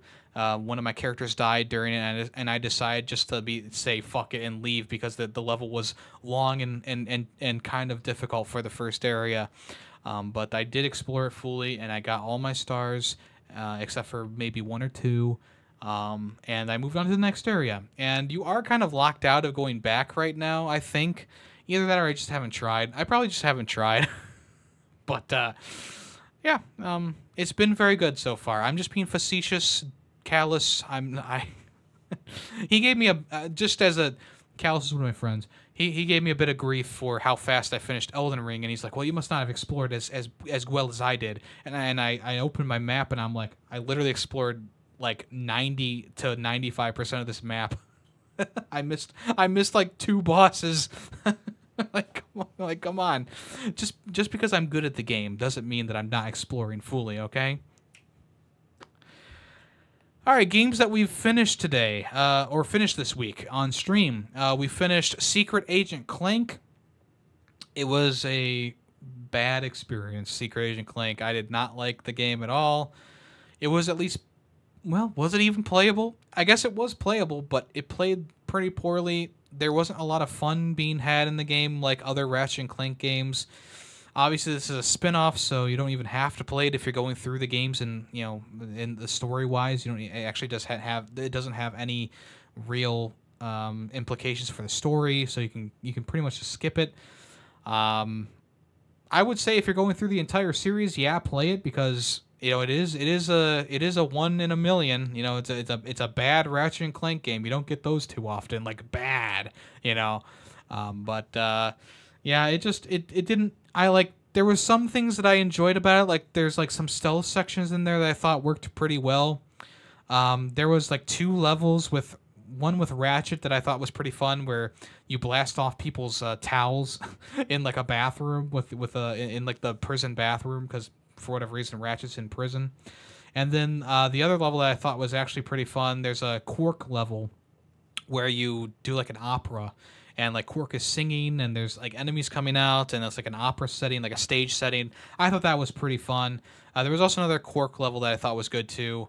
Uh, I forget what it was though. Uh, you went across this, like tentacle monster, and you were you were killing aliens and and and ch- and chopping down tentacles and stuff like that. I thought that was pretty pretty cool. But uh, other than that, the the rest of the game is is not is not good. it's not um, I also played and finished Cat Quest. This has been on my list for quite some time. I got the game for free on Epic Store a while ago, and I do have the second game as well. Uh, but I got these games a while ago. I've been meaning to play them. Uh, the first game is is decent enough. Uh, I thought it was I thought it was good. Um, I think the problem with Cat Quest, at least one, is there's not a lot of variety in the game. Once you see every enemy, which is like I don't know six or seven enemies, you've seen them all there's just there's there's just a few variations mixed in there like oh this dragon's blue and he does ice damage. This dragon's red and he has fire. This dragon's purple and he does energy. I, I don't know what to call it. Energy magic. Um, there's also the big dragons who are also pretty much the same except they do one different move. Like instead of doing the ice move he does the fire move or he does the uh, energy move. It's pretty but, but it's kind of the same as the other ones there were some cute things in there. Like uh, there's a there's a level nine nine nine uh, dungeon where you where there's just like one like of the of the easiest enemies in the game, but he's like super powered, which was a, was a really fun fight. Um, there's other cute things in there, like you know, there's some fun story missions to do. Um, there's a lot of cat puns in there. If you like cat puns or if you love cats, this is definitely a game that you would like to play. That you would want to play. It's very ooh woo, aren't we so cute? Cats, cats, cats, kind of going on. A lot of the you know a lot of the things you read is like that was possum or or uh, like uh, there'll be one that's like um, I I can't believe this right meow, you know, or I can't believe this meow. Um, so yeah, there's a lot of that in there, which does get a bit grating. I will say it definitely got a bit grating for me. Um, but uh, in, in in in totality, I thought Cat Quest One was fun. Um, I had a good time with it. Uh, it. It's just a bit repetitive The exploration is also a bit bare bones. The combat's a bit bare bones at the end of the day. Um, and the story also just kind of ends. There's no like final credits scene. Uh, it just kind of ends, and you can, then you're like, okay, go do whatever else you want. Um, and then there's a bit of a grind in there as well. But I mean, I was talking about this during playing, and I'm like, well, in a game like this, as long as you're good at your dodging, like you anticipating enemy attacks and dodging, you can take down a level 200 uh, 200 enemy without you know it's it's gonna take a while, but you can you can eh, eh, on paper you can get it done. So you know as soon as they opened up the entire map for me, I was kind of doing like the more hard the harder missions to get more XP and, and fight harder enemies. And sure, I died a couple times, but I definitely got a boost of XP that I needed to finish the game in only two streams. So, all in all, would I go back to it? Probably not, but it was fun for what it's worth, and it, I got it for free, so I can't really complain. And finally, for the games that we played this past week on stream, Halo Combat Evolved Anniversary Edition. Uh, this has been on my list to play for a while as well, ever since I got the Master Chief Collection. I've played the original game so, so many times. This is my first time playing the Anniversary Edition of the game, and as soon as I saw the new graphic style, I switched back to the original graphics. You can do that by pressing Tab on your keyboard. It's pretty nifty.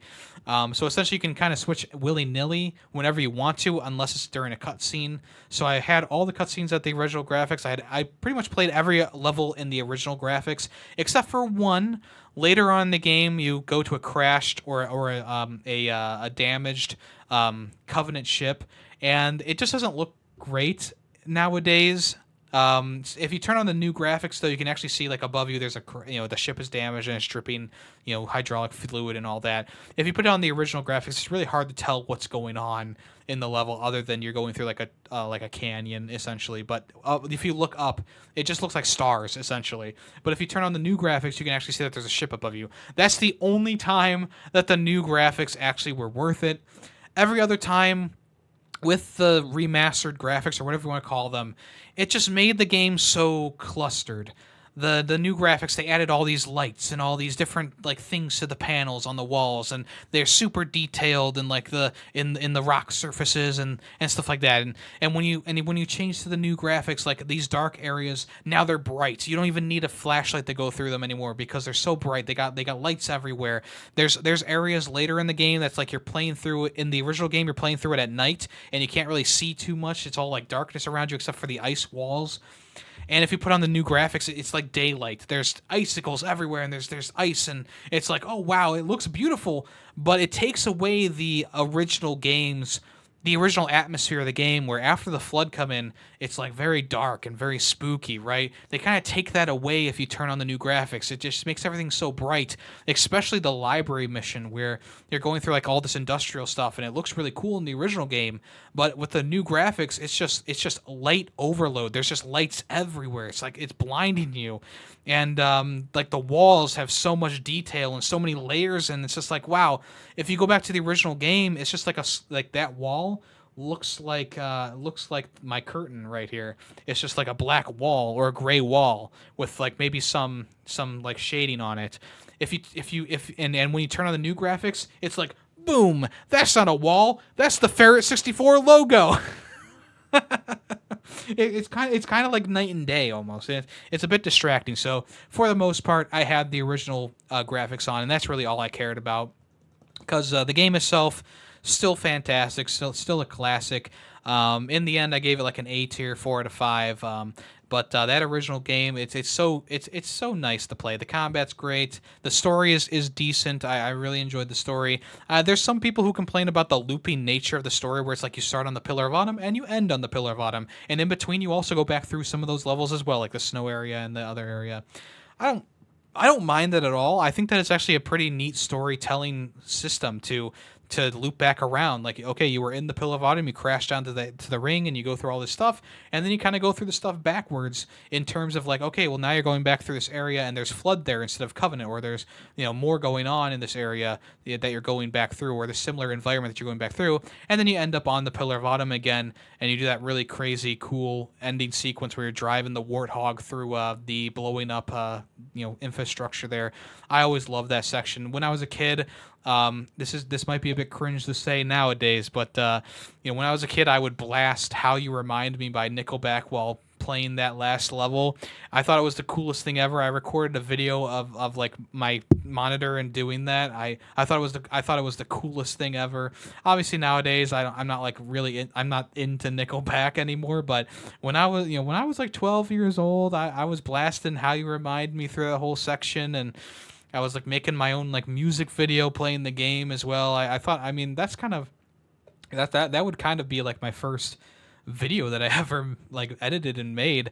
Obviously, I, it's lost to, to, time. I don't know where that is anymore, but uh, you know, it's just one of those memories that I have. And obviously, there's a lot of nostalgia talking about this game, but I think that in general, it is still like nostalgia aside, it's still a great experience. It's a classic in its own right. It obviously paved the way for future um, first-person shooters and stuff like that. So uh, it is a it is it's a very important game in the landscape of the video game universe, but it's also still a really fun time, a really good time. Uh, you know, the AI is so advanced in the game; it's crazy how they they can predict where you're gonna go, and they uh, they they dodge and run around and and uh, they they really put up a fight, especially towards the end of the game when you're fighting like the Elite Covenant and the Flood, and they're very smart. It's it's very it's very impressive even even to this day. Um, and I just I have a lot of memories with the original Halo. Eh, the original Halo was the I, I joined the clan for multiplayer. It was the first clan I ever joined. Um, I think it was like AT or something like that. I, I joined a, uh, the AT clan with equal equal AT equal um, equal sign. Um, that was the first clan I joined. I joined with my one of my friends. Um, I remember playing so much multiplayer on that. Blood Gulch obviously was a big one. Uh, watching Red versus Blue, obviously, because that you know that was that was like the big thing on YouTube at the time. Um, you know, I, I, obviously played the campaign so often. I, I remember finding some like speedrunner things that I'm sure people knew about back then. But you know, there's there's a speedrun technique where uh, you ram like a warthog on, on the uh, uh, what's the level called? It's one where you like you like land on a beach and you're doing like the beach assault and you're trying to get to the control center of the of the Halo ring. Um, essentially, you can drive the Warthog to the the place you need to go that they lock the door at. So you can actually drive to that and ram your your warthog into the door and the door won't close. And that's actually a speedrunning technique. I did that when I was a kid. I can't do it now, but I did that once when I was a kid and I thought that was the coolest thing ever. Um, and obviously, I didn't know what speedrunning was back then, or what or what I had done at all. But I, I did know that I skipped an entire section of the game, and I thought that was pretty cool. I thought I thought that was a I, I did I, I did a pretty cool thing there. Um, and uh, when I bought the game, even even more nostalgia happening. Uh, I bought it from a GameStop, and obviously I was too young to buy an M-rated game, so I brought my mom with me. But for some reason, my mom's like, "I'm gonna just stay in the car. Come get me if you need me." I knew where the game was. It was about five seconds. I walked in, grabbed the game, went up to the counter, and I'm like, I want to buy this game. And of course, they were like, you have to get your parents. So I had to go back out to my car, get my mom, tell her why, come back in. They had to go, of course, read the you know the back, blood and gore, violence, etc. And my mom had to okay it, and uh, you know I got the game and I brought it home and I installed it, and yeah, I was I, I was pretty much it was pretty much love at first sight even farther back in my memory, I remember my uncle burned a copy of Halo Combat Evolved to a random disc for us to play. It didn't work though. So unlike Re-Volt, which started my love for Re-Volt, was that a burned disc of Re-Volt. Uh, for you know, for for Halo, it was like I kind of remember glimpses of that game when I was like nine years old, uh, playing it on a computer for a little bit and it crashing all the time. But um, you know that that that's back in the day. So yeah, lots of memories with this game. I wish I could give it a higher score, but I have to still grade it on my my you know mature grading scale that I use nowadays, and uh, it's still a really strong contender. It's a four out of five in my opinion, um, but it's it's still really good. It, it's it's it's a classic, and I I, I love the game. I, I I love Halo Combat Evolved. Um, uh, and uh, yeah, it's it's it's one of those games that uh, defined my younger uh, gaming career. You know, so there you go.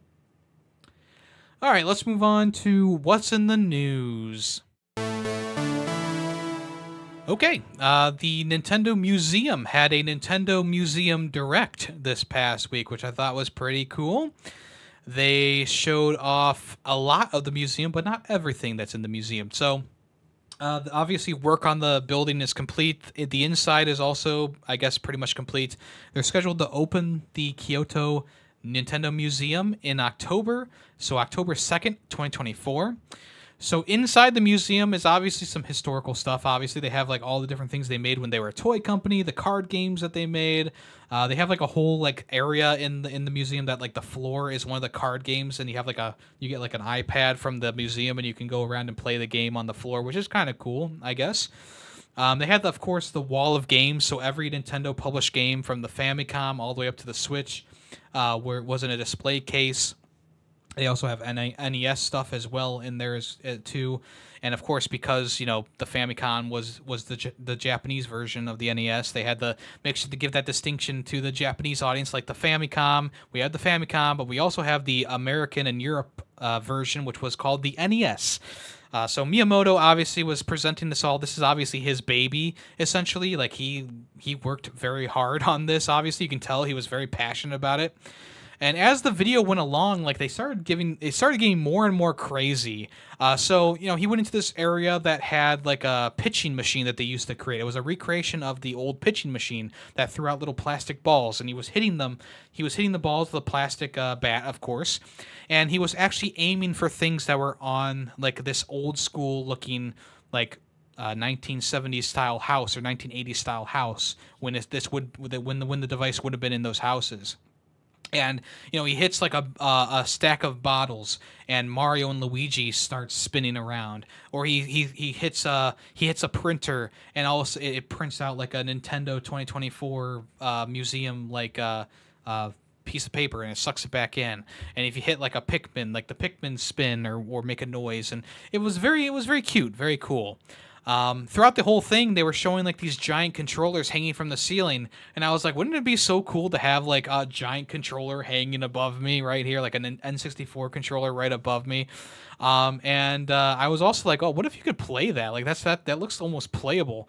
Well, what do you know? The next room he walks into, there's a giant Famicom controller with every Nintendo published uh, game on there, and you can actually play this the Nintendo game with a giant Famicom controller. Two people at the controller, one with the A and B button, the other person with the D-pad. There was an N64 controller. There was an SNES controller, I think. There was also Wiimotes, like giant Wiimotes and nunchucks that you could use as well, which is also like super cool.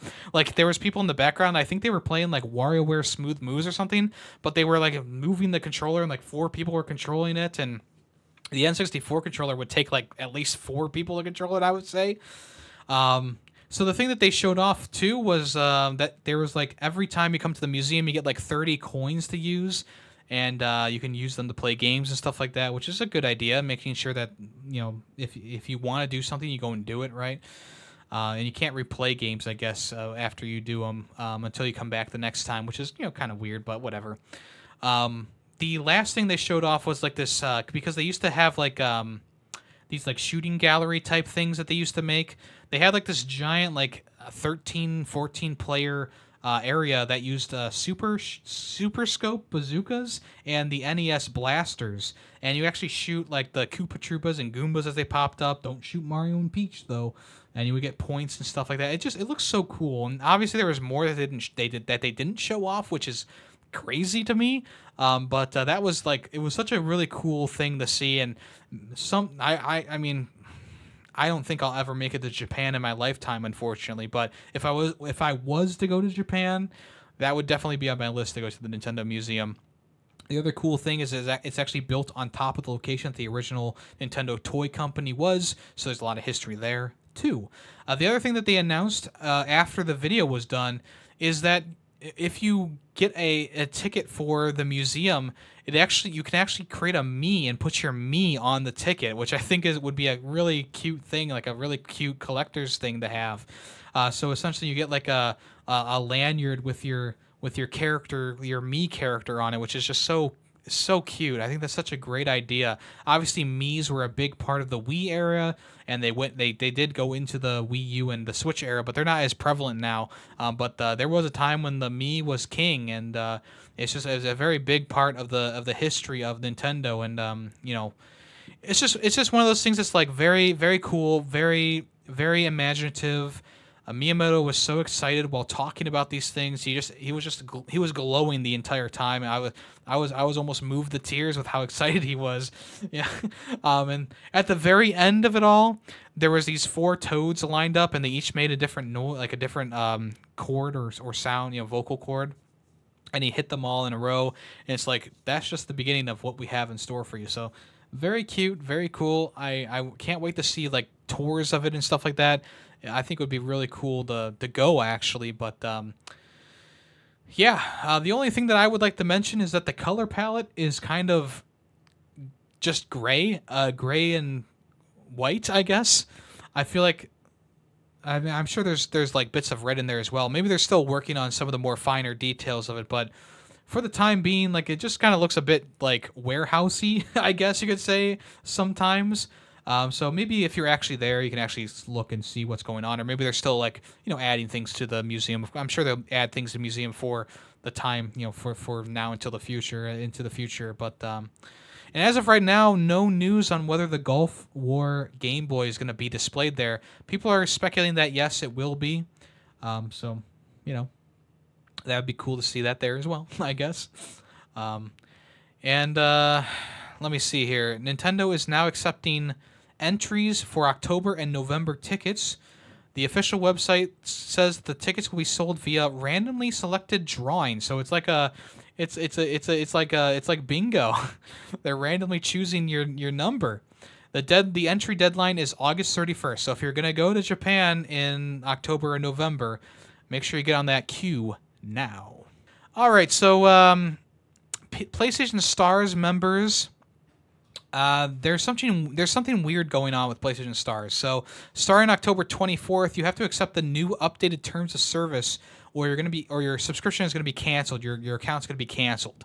Uh, if you don't do that before then, all your points and stuff will expire, and you won't be able to use that. If you do accept the new terms and services, points will expire after 13 months of them being in your account. So if you're waiting to build up to a game, um, I guess they want you to buy, buy, buy because there's no way you're gonna get a new game for like 8,000 PlayStation Plus uh, PlayStation points in 13 months if you're just buying like the first party PlayStation games, you know.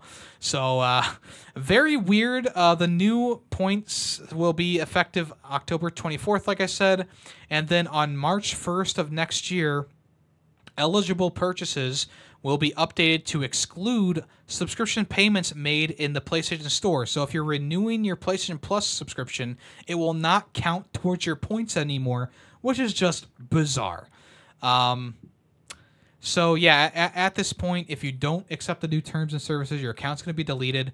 I logged into the PlayStation app the other day to try and accept the new terms and services. It didn't even pop up for me.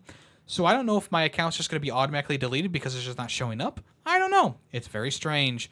Um, so yeah, it's just it's it's so weird. Like this is such a weird thing. PlayStation Stars is already like a very niche thing that not many people are probably using.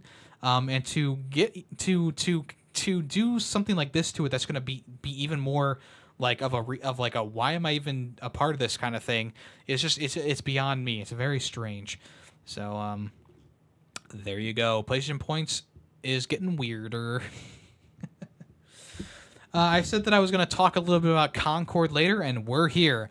So Concord ha- was released on like Thursday this past week, and uh, right now on Steam, it's not performing very well. I don't think it's, it's performing very well on PlayStation Five either. Now, there's a lot of people saying it's a great, it's it's a it's a fun hero shooter, and uh, if you if you want to check it out, make sure you do. Uh, me personally, when I played the the open beta for it. I didn't feel like it was really that unique per se. I mean, it was fun, obviously, with a friend and, and playing around with it. I, it was fun, and the graphics are fantastic. But this isn't one of those games that I'm going to go out and buy day one. I'm going to wait for a sale on this one. If they put it below $20, like $19.99, you know, I'll, I'll, I'll probably buy it then. Um, but as of right now, I'm not planning on buying it now, but I'll, I'll, I'll buy it later, of course. I think that the idea for the game is sound. Having a ragtag group of characters that you can kind of swap out and, and get new stories for as you go through the go through the different seasons of the game. I think that's a good idea. The problem is that I think the game should have been you know, uh, like a party swap out kind of game. Maybe make it an art, like maybe make it a, a, a turn based combat kind of game. You know, something like that, and make it something unique. But as of this point, like this is a, a this is eight years of work for this game, and I feel like it's it's just coming out to such a such a quiet reception. Only six hundred. The the peak count for concurrent players right now is at six hundred and ninety seven, which is less than Lord of the Rings Gollum. It's less than Suicide Squad killed the Justice League. It's less than Redfall's peak players and uh, obviously, Black Myth Wukong is peaking at 2.4 million players, so they might have even chose a terrible time to put the game out because Black Myth Wukong is overshadowing it. So there's a bunch of different things going on that's really causing this game to get shafted really quickly. Now, I'm not I mean, I'm not a person who just joins a hate train. Oh, hello Randy. Look who decided to join the show. Look who ran in here, and then as soon as I tried to grab him, he ran out of the room, scared for his life that I was going to pick him up and put him in front of the camera. Thank you, Randy. what a goof. Uh, what was I saying? um, I'm not going to join. I'm not a person who joins a hate train for a game. I give my honest and true, ex, you know, experience and opinions about it. And when I played it, it didn't it, it was just a generic, you know, six v six hero shooter. And I don't think it's going to be anything more than that. But if you go into the game wanting that, you're going to have a great time with it. I know there's a lot of people who are defending the game right now, saying it's actually fun. It's it's on the same level as other hero shooters, maybe even above other hero shooters. That's not going to sell me on the game because I'm not really that big into hero shooters anyway. So I'm going to wait for, you know, wait for a sale. I'll pick it up when it's like 20 bucks. I'm sure it won't be too long. I do want to get it physically at least, so you know, there's that. They're gonna get a physical sale off of me. Um, but at this point, you know, I, I don't I don't think that we need to add to the hate train, obviously. But I also don't think that a lot of the criticism is coming from nowhere, coming from a place of hate, because I feel like the game when I played it, at least during the beta, it, it wasn't like it wasn't knocking my socks off. It was it just it, it was like okay, we have a bunch of different ideas from other games that we're just kind of jamming into these characters. Uh, have fun with it. And and even though I did have fun with it, Greedy Waffles and I played it together. We had fun. We had a couple of great games together. Um, it, but it's not a game that I'm like, oh, I'm gonna go spend forty dollars on that because it was so much fun. I'm gonna wait for a sale because I don't I I because at this point I don't know how long this game is going to last, which is sad to say because it's a first party Sony game. Lots of people, very passionate people, worked on it, obviously and they're gonna obviously defend their own game, obviously. But you know, that's the thing. A lot of people worked on this. It took eight years to develop, and um, it's just it's unfortunate that you know there's there's there's other options out there right now that that are free to play that people are gonna are gonna be like, oh, I'd rather play Overwatch 2 or I'd rather play uh, the new uh, Marvel Rivals coming out because that's gonna be free to play, or or I'd rather play uh, what's the other hero shooter like Valorant or something. You know, that they're they're all free, and and I, I and Sony's putting a price tag on this one, obviously to recoup the losses from development. But um, I think that that's going to hurt it in the long run as well. So maybe eventually down the road it'll be free on PlayStation Plus, or it'll be just free in general to play. Um, but as of right now, you got to spend forty dollars on it, and I just feel like ah, that's that's a bit much to ask for a brand new IP it was marketed as like, oh, it's the Guardians of the Galaxy. No, wait, it's a it's a it's a it's a hero shooter. you know, um, the, the the the the the video game industry as a whole is swamped with hero shooters right now. It's swamped with live service games. Even though this isn't technically a live service game, it is like an online only game, so it kind of goes under that category a little bit. Um, and it's one of those things. It's like it, it sucks because it was fun, but it wasn't fun enough that I was gonna go and grab the game right away or, or play the game right away. So, as of right now, the numbers for Concord are, ex- are are very low for a first party PlayStation game. We don't know the numbers exactly on PlayStation, but I can tell you without any research that it probably didn't sell too well either.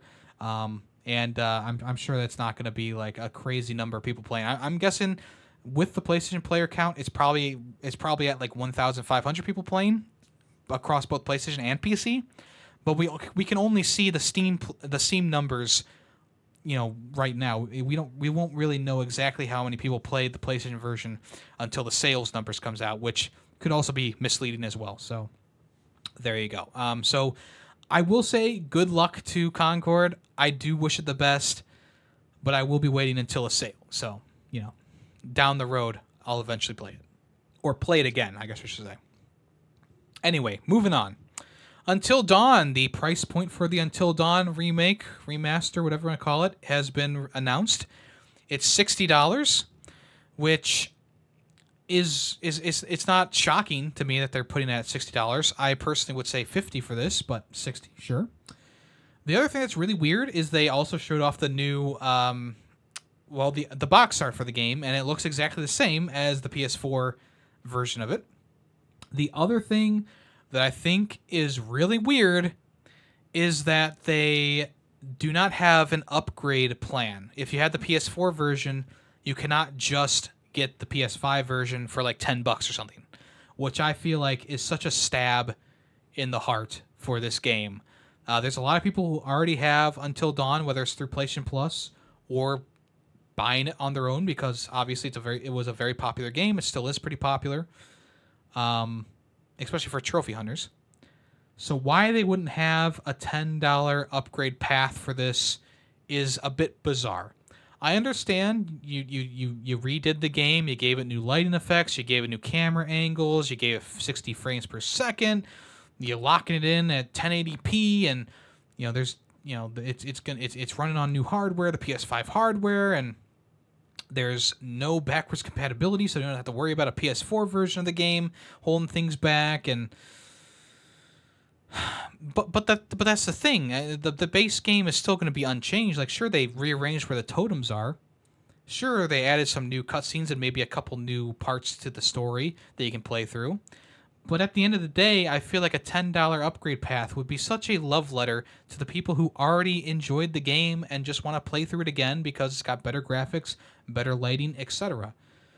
Why not just give us that option of like a $10 upgrade path? You did it in the past there's plenty of games in the past that you can go. Oh, there's a ten dollar upgrade. Back when the PS3 and the PS and, and the PS4 launched, there was ten dollar upgrade pass for like every single game. Assassin's Creed Black Flag, Call of Duty Ghosts. Um, yeah. I can't. I, am not. I'm, I can't think of any others off the top of my head right now, but I'm sure there's a couple you can probably think of there where it's like, okay, you can pay ten dollars and boom, you can put that PS3 disc right into your PS4 and you can play the game why not have this for Until Dawn? It just doesn't make any sense, especially because you're naming it the same thing. It's just Until Dawn again. It's not Until Dawn Remake. It's not Until Dawn Remastered. It's not Until Dawn uh, Unearthed. I don't know what else you can call it. It's just Until Dawn. So why not give it that upgrade path for the original PS4 to the PS5? It just doesn't make any sense. So $60 is going to be the price tag. I think it's a bit much for this. I'm definitely gonna wait for a sale for this one too. Um, I'll probably wait until it's like 20 bucks or so again.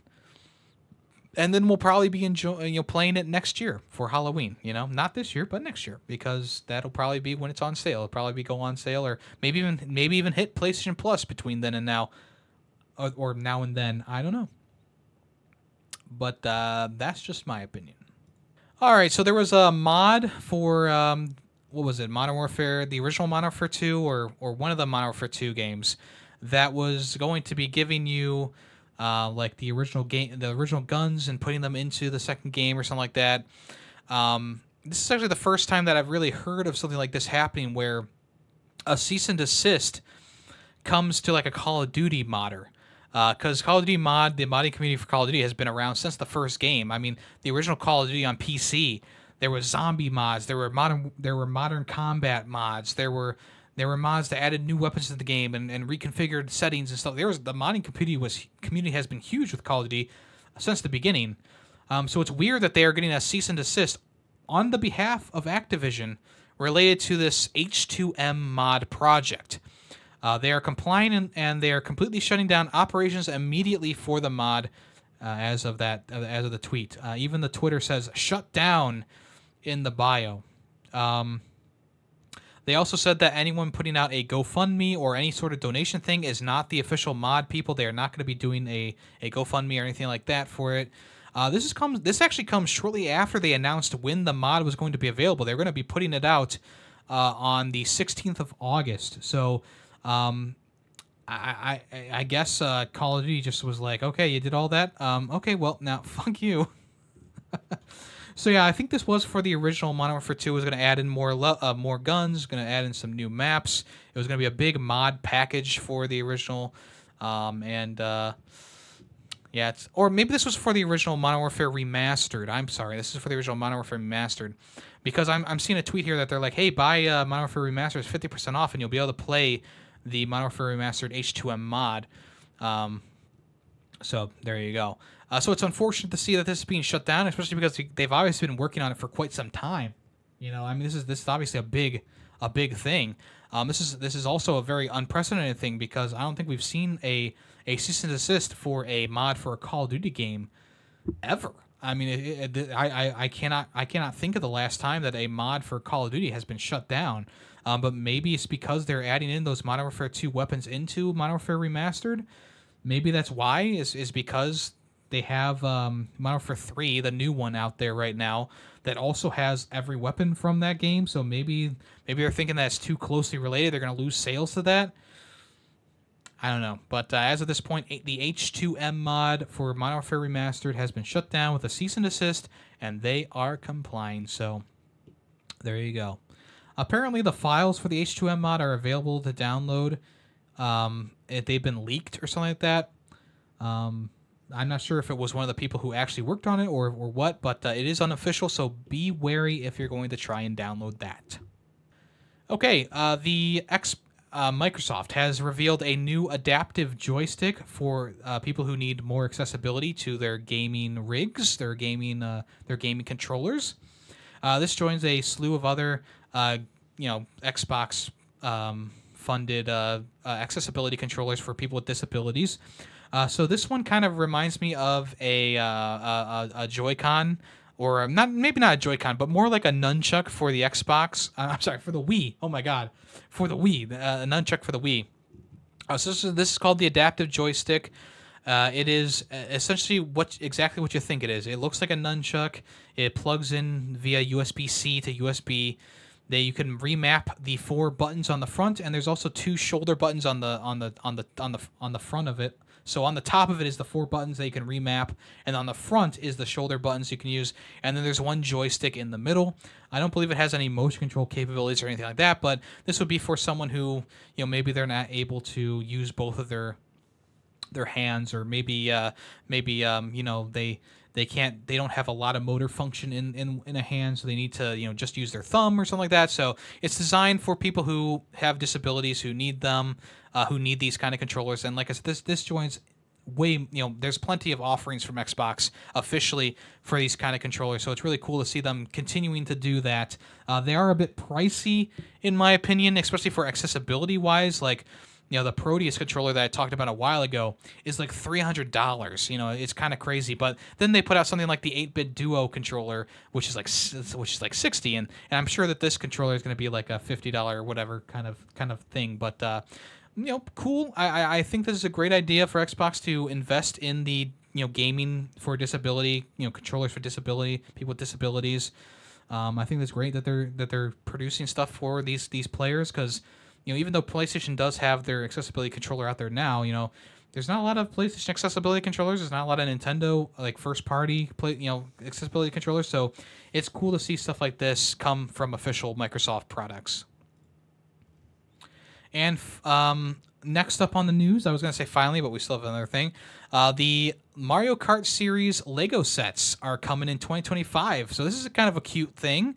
Uh, there's going to be multiple sets with multiple characters, uh, including Donkey Kong, Toad, Yoshi, Mario, Baby Mario, and Baby Luigi. And then there's also like uh, there's also Baby Peach, um, Toad on a motorcycle, and uh, uh, Ludwig or whoever that is. So all these sets will be available next year for varying prices. Um, obviously, the bigger the set is, the more expensive it's going to be. So there's like a pit crew for Mario's Mario Kart. Uh, that's probably going to be like a $60 one. Yeah, right here I have the prices here. So that, that's going to be a $40 one, the Mario Kart Toad's Garage. And then the most expensive one is the Mario Kart Baby Peach and Grand Prix set, which is going to be $80. The Baby Mario and Baby Luigi set is going to be $30. The Donkey Kong uh, and Donkey Kong Jumbo set uh, will be about thirty-five dollars. I'll probably buy this one. This one's kind of cute, cool. Uh, the Mario Kart Standard Edition is going to be twenty dollars, and then the Mario Kart Yoshi Bike set is going to be fifteen dollars, which is actually a pretty nice price point for that as well. Uh, so all those will be available sometime in 2025. So make sure you keep your eyes open for that. But uh, they're pretty cool. I like the Donkey Kong one the most, with the Yoshi one being kind of like you know second best, of course. And the rest of them are pretty cute as well. So check those out if you want. If you want on the uh, official Lego you, uh, website. And then finally for today, we have um, unfortunate news that the original voice actor for the Japanese version of Bayonetta, the Japanese voice actor for Bayonetta, has unfortunately passed away at the age of 61. At, at Atsuko Tanaka has been the voice of Bayonetta for all three of the Bayonetta games. Um, for the Japanese version of the games, she also voiced Chun Li for the Street Fighter series, Laura Croft for uh, those games, for the Japanese version of those games. Um, she also voiced uh, a character from NieR Replicant named Kainé, Trish from Devil May Cry, and Lisa Lisa from JoJo's Bizarre Adventure. Um, Platinum Games came out in a statement and said, We are incredibly saddened to hear about the passing of Atsuko Tanaka, who provided the Japanese voices for the titular character in the Bayonetta series. We are extremely grateful for her breathing life into the character of Bayonetta and offer our dear, deepest condolences to her loved ones at this difficult time. So yeah, it's sad to hear of her passing. Obviously, had a, a very wide casting net for uh, for her appearances in video games, but also she also did a lot of voice acting work for I believe TV shows as well. So. Um, if you've listened to a Japanese dub of a of a game or of an anime or whatever, yeah, you might have heard her voice a couple times now. So, uh, sad to hear of her passing, and uh, my thoughts with her with her family. Okay, let's move on to the final part of the show, which is what's coming soon. This is a long one today, folks. Thanks for sticking with me. Phantom Blade Zero had a combat presentation for the game. Uh, they kind of went through a single combat encounter, and then they also did like a boss fight. They said that this game was not a Souls like, and it looks pretty much exactly like Sekiro, but obviously it's it's it's a bit different. But it has like a parry system. It has uh, the the exhaustion meter for the for the enemies that you're fighting. You know, obviously, uh, it has a big health bar for the for the bosses. Uh, they claim that's not a Souls like because it doesn't have respawning enemies. But to that, I say, it's in the genre. It's still in the genre. You ha- you have a healing flask. You have really powerful enemies. You have a health bar at the top of the screen for bosses. You have an upgrade tree. You have a bonfire type things. So it's kind of like a mix between like Dark Souls and maybe like an action adventure game, you know. But as of this point, I would say it's it's very much like it's it's it's a Souls like. Just because it doesn't have respawning enemies doesn't mean that it's not in the same uh, un, under the umbrella of a Souls like, right? Um, but they showed off the gameplay. It, it, looks it looks pretty good. I feel like there's not enough weight behind the movements sometimes with like the with the hits on enemies. I feel like they don't get phased as much as I would like to see them get phased or or whatever. Like especially with the weaker enemies.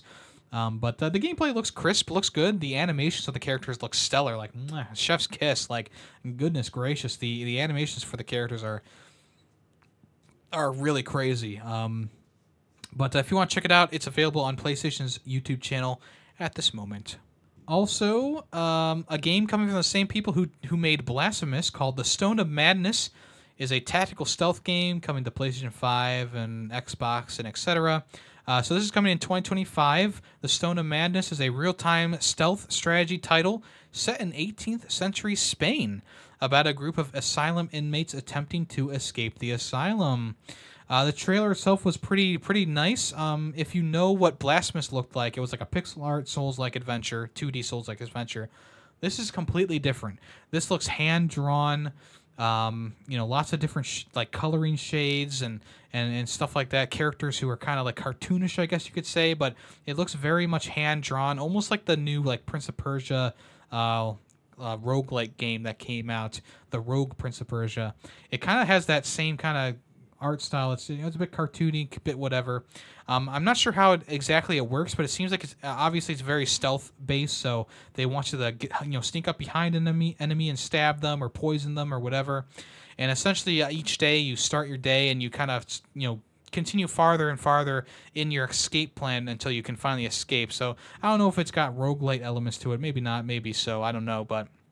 I'm sure we'll see more of it before next year when it comes out, but I'm intrigued. Looks kind of cool. Lost in Random is getting a sequel called The Eternal Die. If you don't know what Lost in Random was, um, essentially it was like a third person, um, kind of like a random action game where you roll a dice and you get like these little cards and if you have like a, if the dice has a three on it, you can use a card that requires three energy, or you could use like a two and a one energy at the same time, and you have things fight for you. And you obviously have some combat capabilities with like a slingshot, but it's mostly to gain more like magic for better cards and stuff like that. So it was a very unique game. It had like a Tim Burton style to it, with like uh, the characters being like kind of like claymation kind of esque, kind of um you know Nightmare Before Christmas looking kind of characters. So that was a cool thing about the game. Uh, this new game that they're coming out with is uh, essentially Lost in Random Hades Edition. Uh, it's a it's a roguelite action game with a top-down perspective. I think that this game loses a lot of that initial charm that you had with you know the the the the, way that the original game was and how it played. Um, but essentially, you have multiple weapons to choose from. You still have some sort of like die uh, mechanics to use, like you roll the die for something. Um, but it really does look more like uh, you know, another another Hades type game where it's top down. You have multiple weapons to choose from. You got boss fights to go through, and it's a roguelite. So you know, when you die, you come back, and you have to go through it all again. Obviously, it was it was inspired by that kind that that roguelite genre. Um, so it, it is a bit disappointing to me to see it change style so drastically, and uh, but it, but it's more but it's more disappointing that it's losing the charm of that original game just from like the the the, the gameplay that's shown in the screenshots that I'm looking at, it did lose a bit of that charm that the original game had, that that grittiness that it had, the atmosphere that it had, just because now it's just this is just an action an action roguelike game. Um, so it's a little bit disappointing there. Um, but the original game is still great. I put it on my top 15 games the game the year that came out. Probably would have put it into my top 10 if I redid that that list, but um, it was a fun time. I enjoyed it. I thought the story was good. I thought the combat was fun and unique, and obviously the you know the the animation style was very cool. So check out the original game if you want to. And uh, this new game is coming out in 2025. Sonic X Shadows Generations. They announced the collector's edition coming from Limited Run Games. It is very Dreamcast heavy. So if you're a fan of the Dreamcast and Sonic, this might be just the thing for you. Pre-orders are going to be open. They're actually open now until October 6th. If you want to purchase this, it'll be available for $250. What does it include? So you get either the uh, you know Xbox, Switch, PlayStation 4 or 5 version of the game with a authenticity uh, seal. You get a individually numbered certific- certificate of, of authentic- authenticity, a, comm- a com- oh my god, a commemorative Dreamcast jewel case that you can use for the game. Uh, there's also the official soundtrack on CD. You get three Chao figurines. You get an art book for artwork of the game. And uh, you also get a Sonic Shadow and Classic Sonic shoe keychain, along with a steelbook for Switch or for PlayStation and Xbox. The piece Le Resistance, though, let me take a swig of water. The the piece de resistance is the Sonic and Shadow Dreamcast statue. So it's Sonic doing a thumbs up, and it's Shadow doing a uh, an emo pose, and they're standing on top of a Dreamcast uh, console. Pretty cool, I will say. Like that's pretty badass for this collector's edition. Obviously, it's a bit pricey. But uh, if you're a fan of Sonic, if you're if you were a fan of the Dreamcast back in the day and you played Sonic games on the Dreamcast, this might be something you might want to look into. Maybe setting aside some money and picking this up because I think that this is a this is a very cool collector's edition. A bit expensive, but looks very cool. Very very cool stuff in there. So check that out. That like I said, that'll be available to pre-order until October 9 uh, October 6th and um, it'll ship sometime in, in July next year. But the uh, the game itself is going to be available like October 6th, I think, or something like that, or or whatever. Um, so that'll that'll ship out between October 25th and the 8th of November if you get that from Limited Run Games. I believe the game does come out. I think October 25th actually. I'm not sure. I don't remember. But uh, yeah, pretty cool. Pretty cool indeed. Emio, The Smiling Man, Famicom Detective Club. This game is coming soon on, uh, on August 29th, and there's actually a demo available for the game right now. There's going to be three demos for the game available as the weeks commence. The demo number one is already available, where you go through the first part of the game. Now there's a demo number two, which is part two of the game or, or of the of the demo essentially. So they're releasing these kind of episodically, I guess you could say, where uh, you know you get a part of the story. Maybe get, you know you get like the initial like, um, oh that's you know the the initial like murder or whatever. Um, then you get like a little bit more where you're doing some detective work maybe, and the final one is probably going to be you know probably the you know uh, some sort of conclusion to the first chapter of the game maybe I don't know but um pretty cool that they're releasing like these little demos for the game. So there's two demos available right now. Chapter one and chapter two, or part one and part two, and the third demo will be available August 28th, a day before the game's release. So if you want to check that out, those will be those are available now and also soon. Caravan. I've talked about this game a couple times because they keep doing these little teasers and stuff like that, but now we officially have a release date for the game instead of a release window, and the release date is September 12th.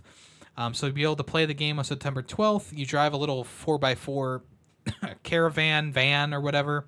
Um, this is coming to Switch, Xbox, PlayStation, PC. Um, there's a whole world to explore, post-apocalyptic world to explore. There's a diverse cast of characters. There, there's um, the accessibility options, of course. Lots of different characters in there. There's the frog man that was in the, the most recent trailer, which was kind of cute. Um, but uh, yeah, it's a sci-fi adventure where you use this little van to go around and do stuff, which uh, sounds kind of cool. So I'm looking forward to it. I'll probably pick it up, um, you know, eventually, and it's going to be available September 12th. A game called Faaast Penguin, Fast with three A's, is coming to PlayStation. I don't know if it's coming to other consoles at this point.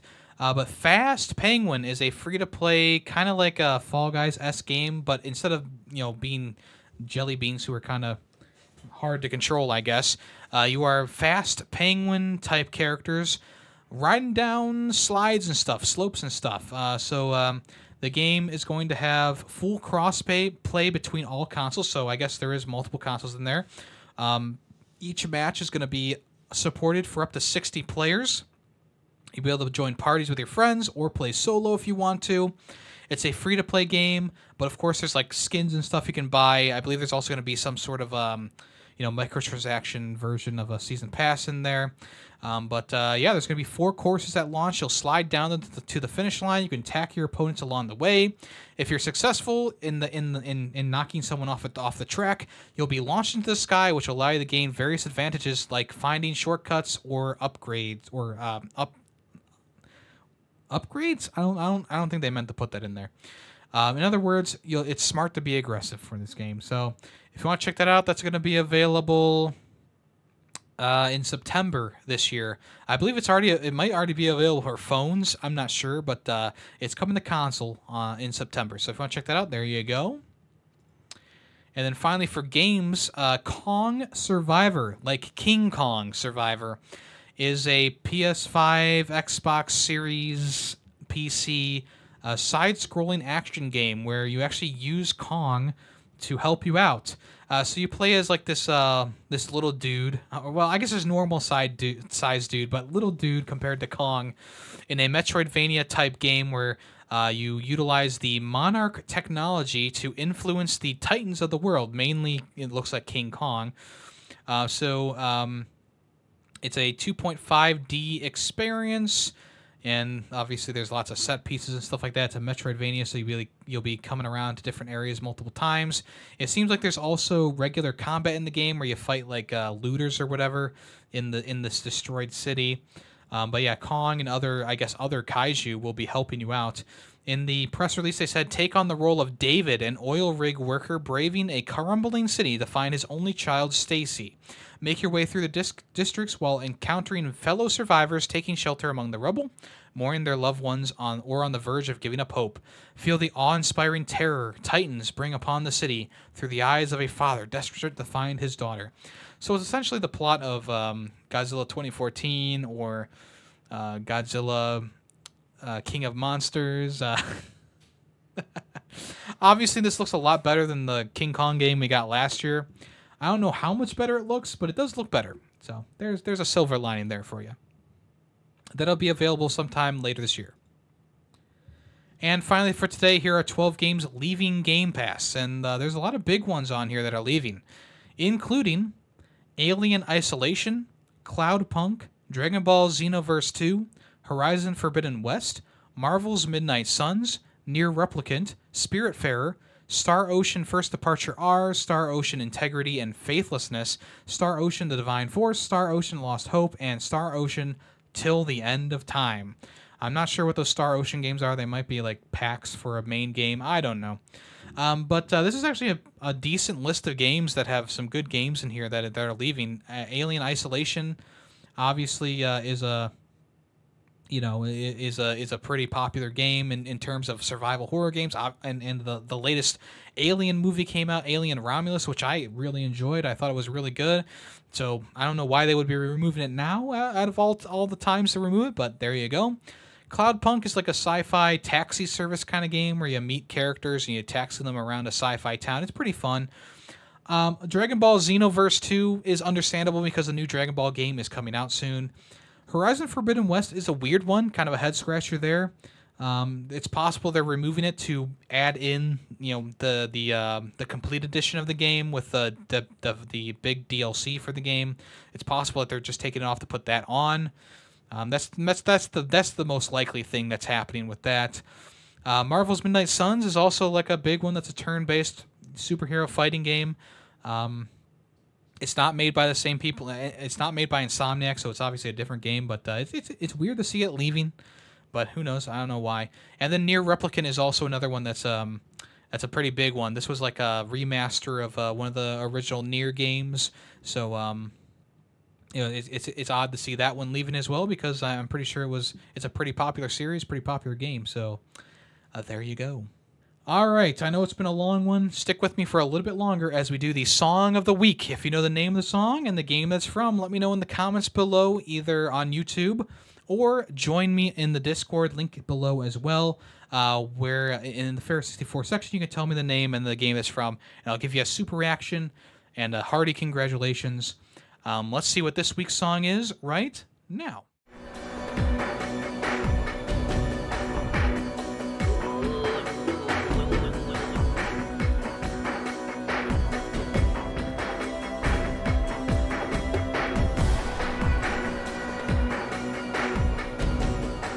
I meant hear or listen, but you, you know what I meant.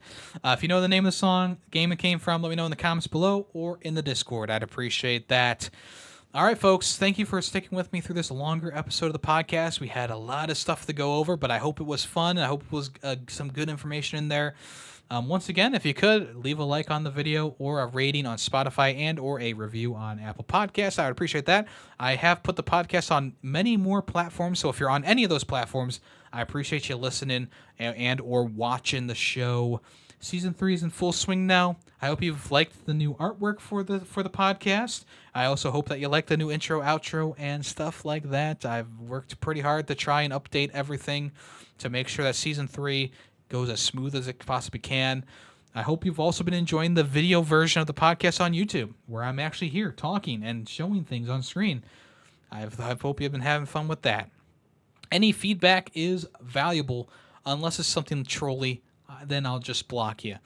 Um, but anyway, thank you so much for listening to this episode of the podcast. If you want to check out the other podcasts that I do, Film Freaks with a Z at the end. We talk about movies. The latest episode is about Twister and kind of like and and kind of Twisters, the new one. Uh, but we talked about that. Uh, the next episode will air in two weeks, but until then, you got Twister, the, the Twister conversation to listen to.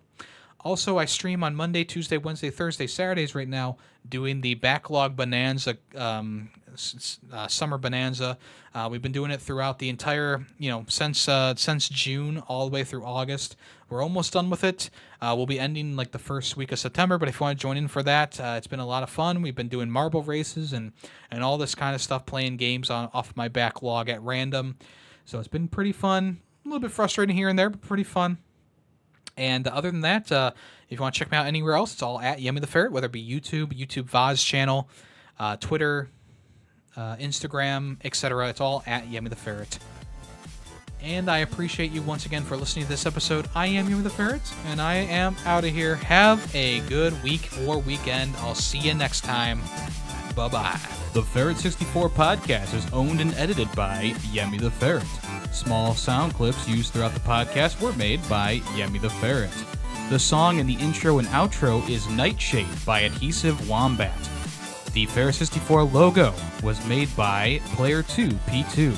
News sources include PushSquare.com, NintendoLife.com, and PureXbox.com. All opinions, video game related, are my own. Thank you for listening.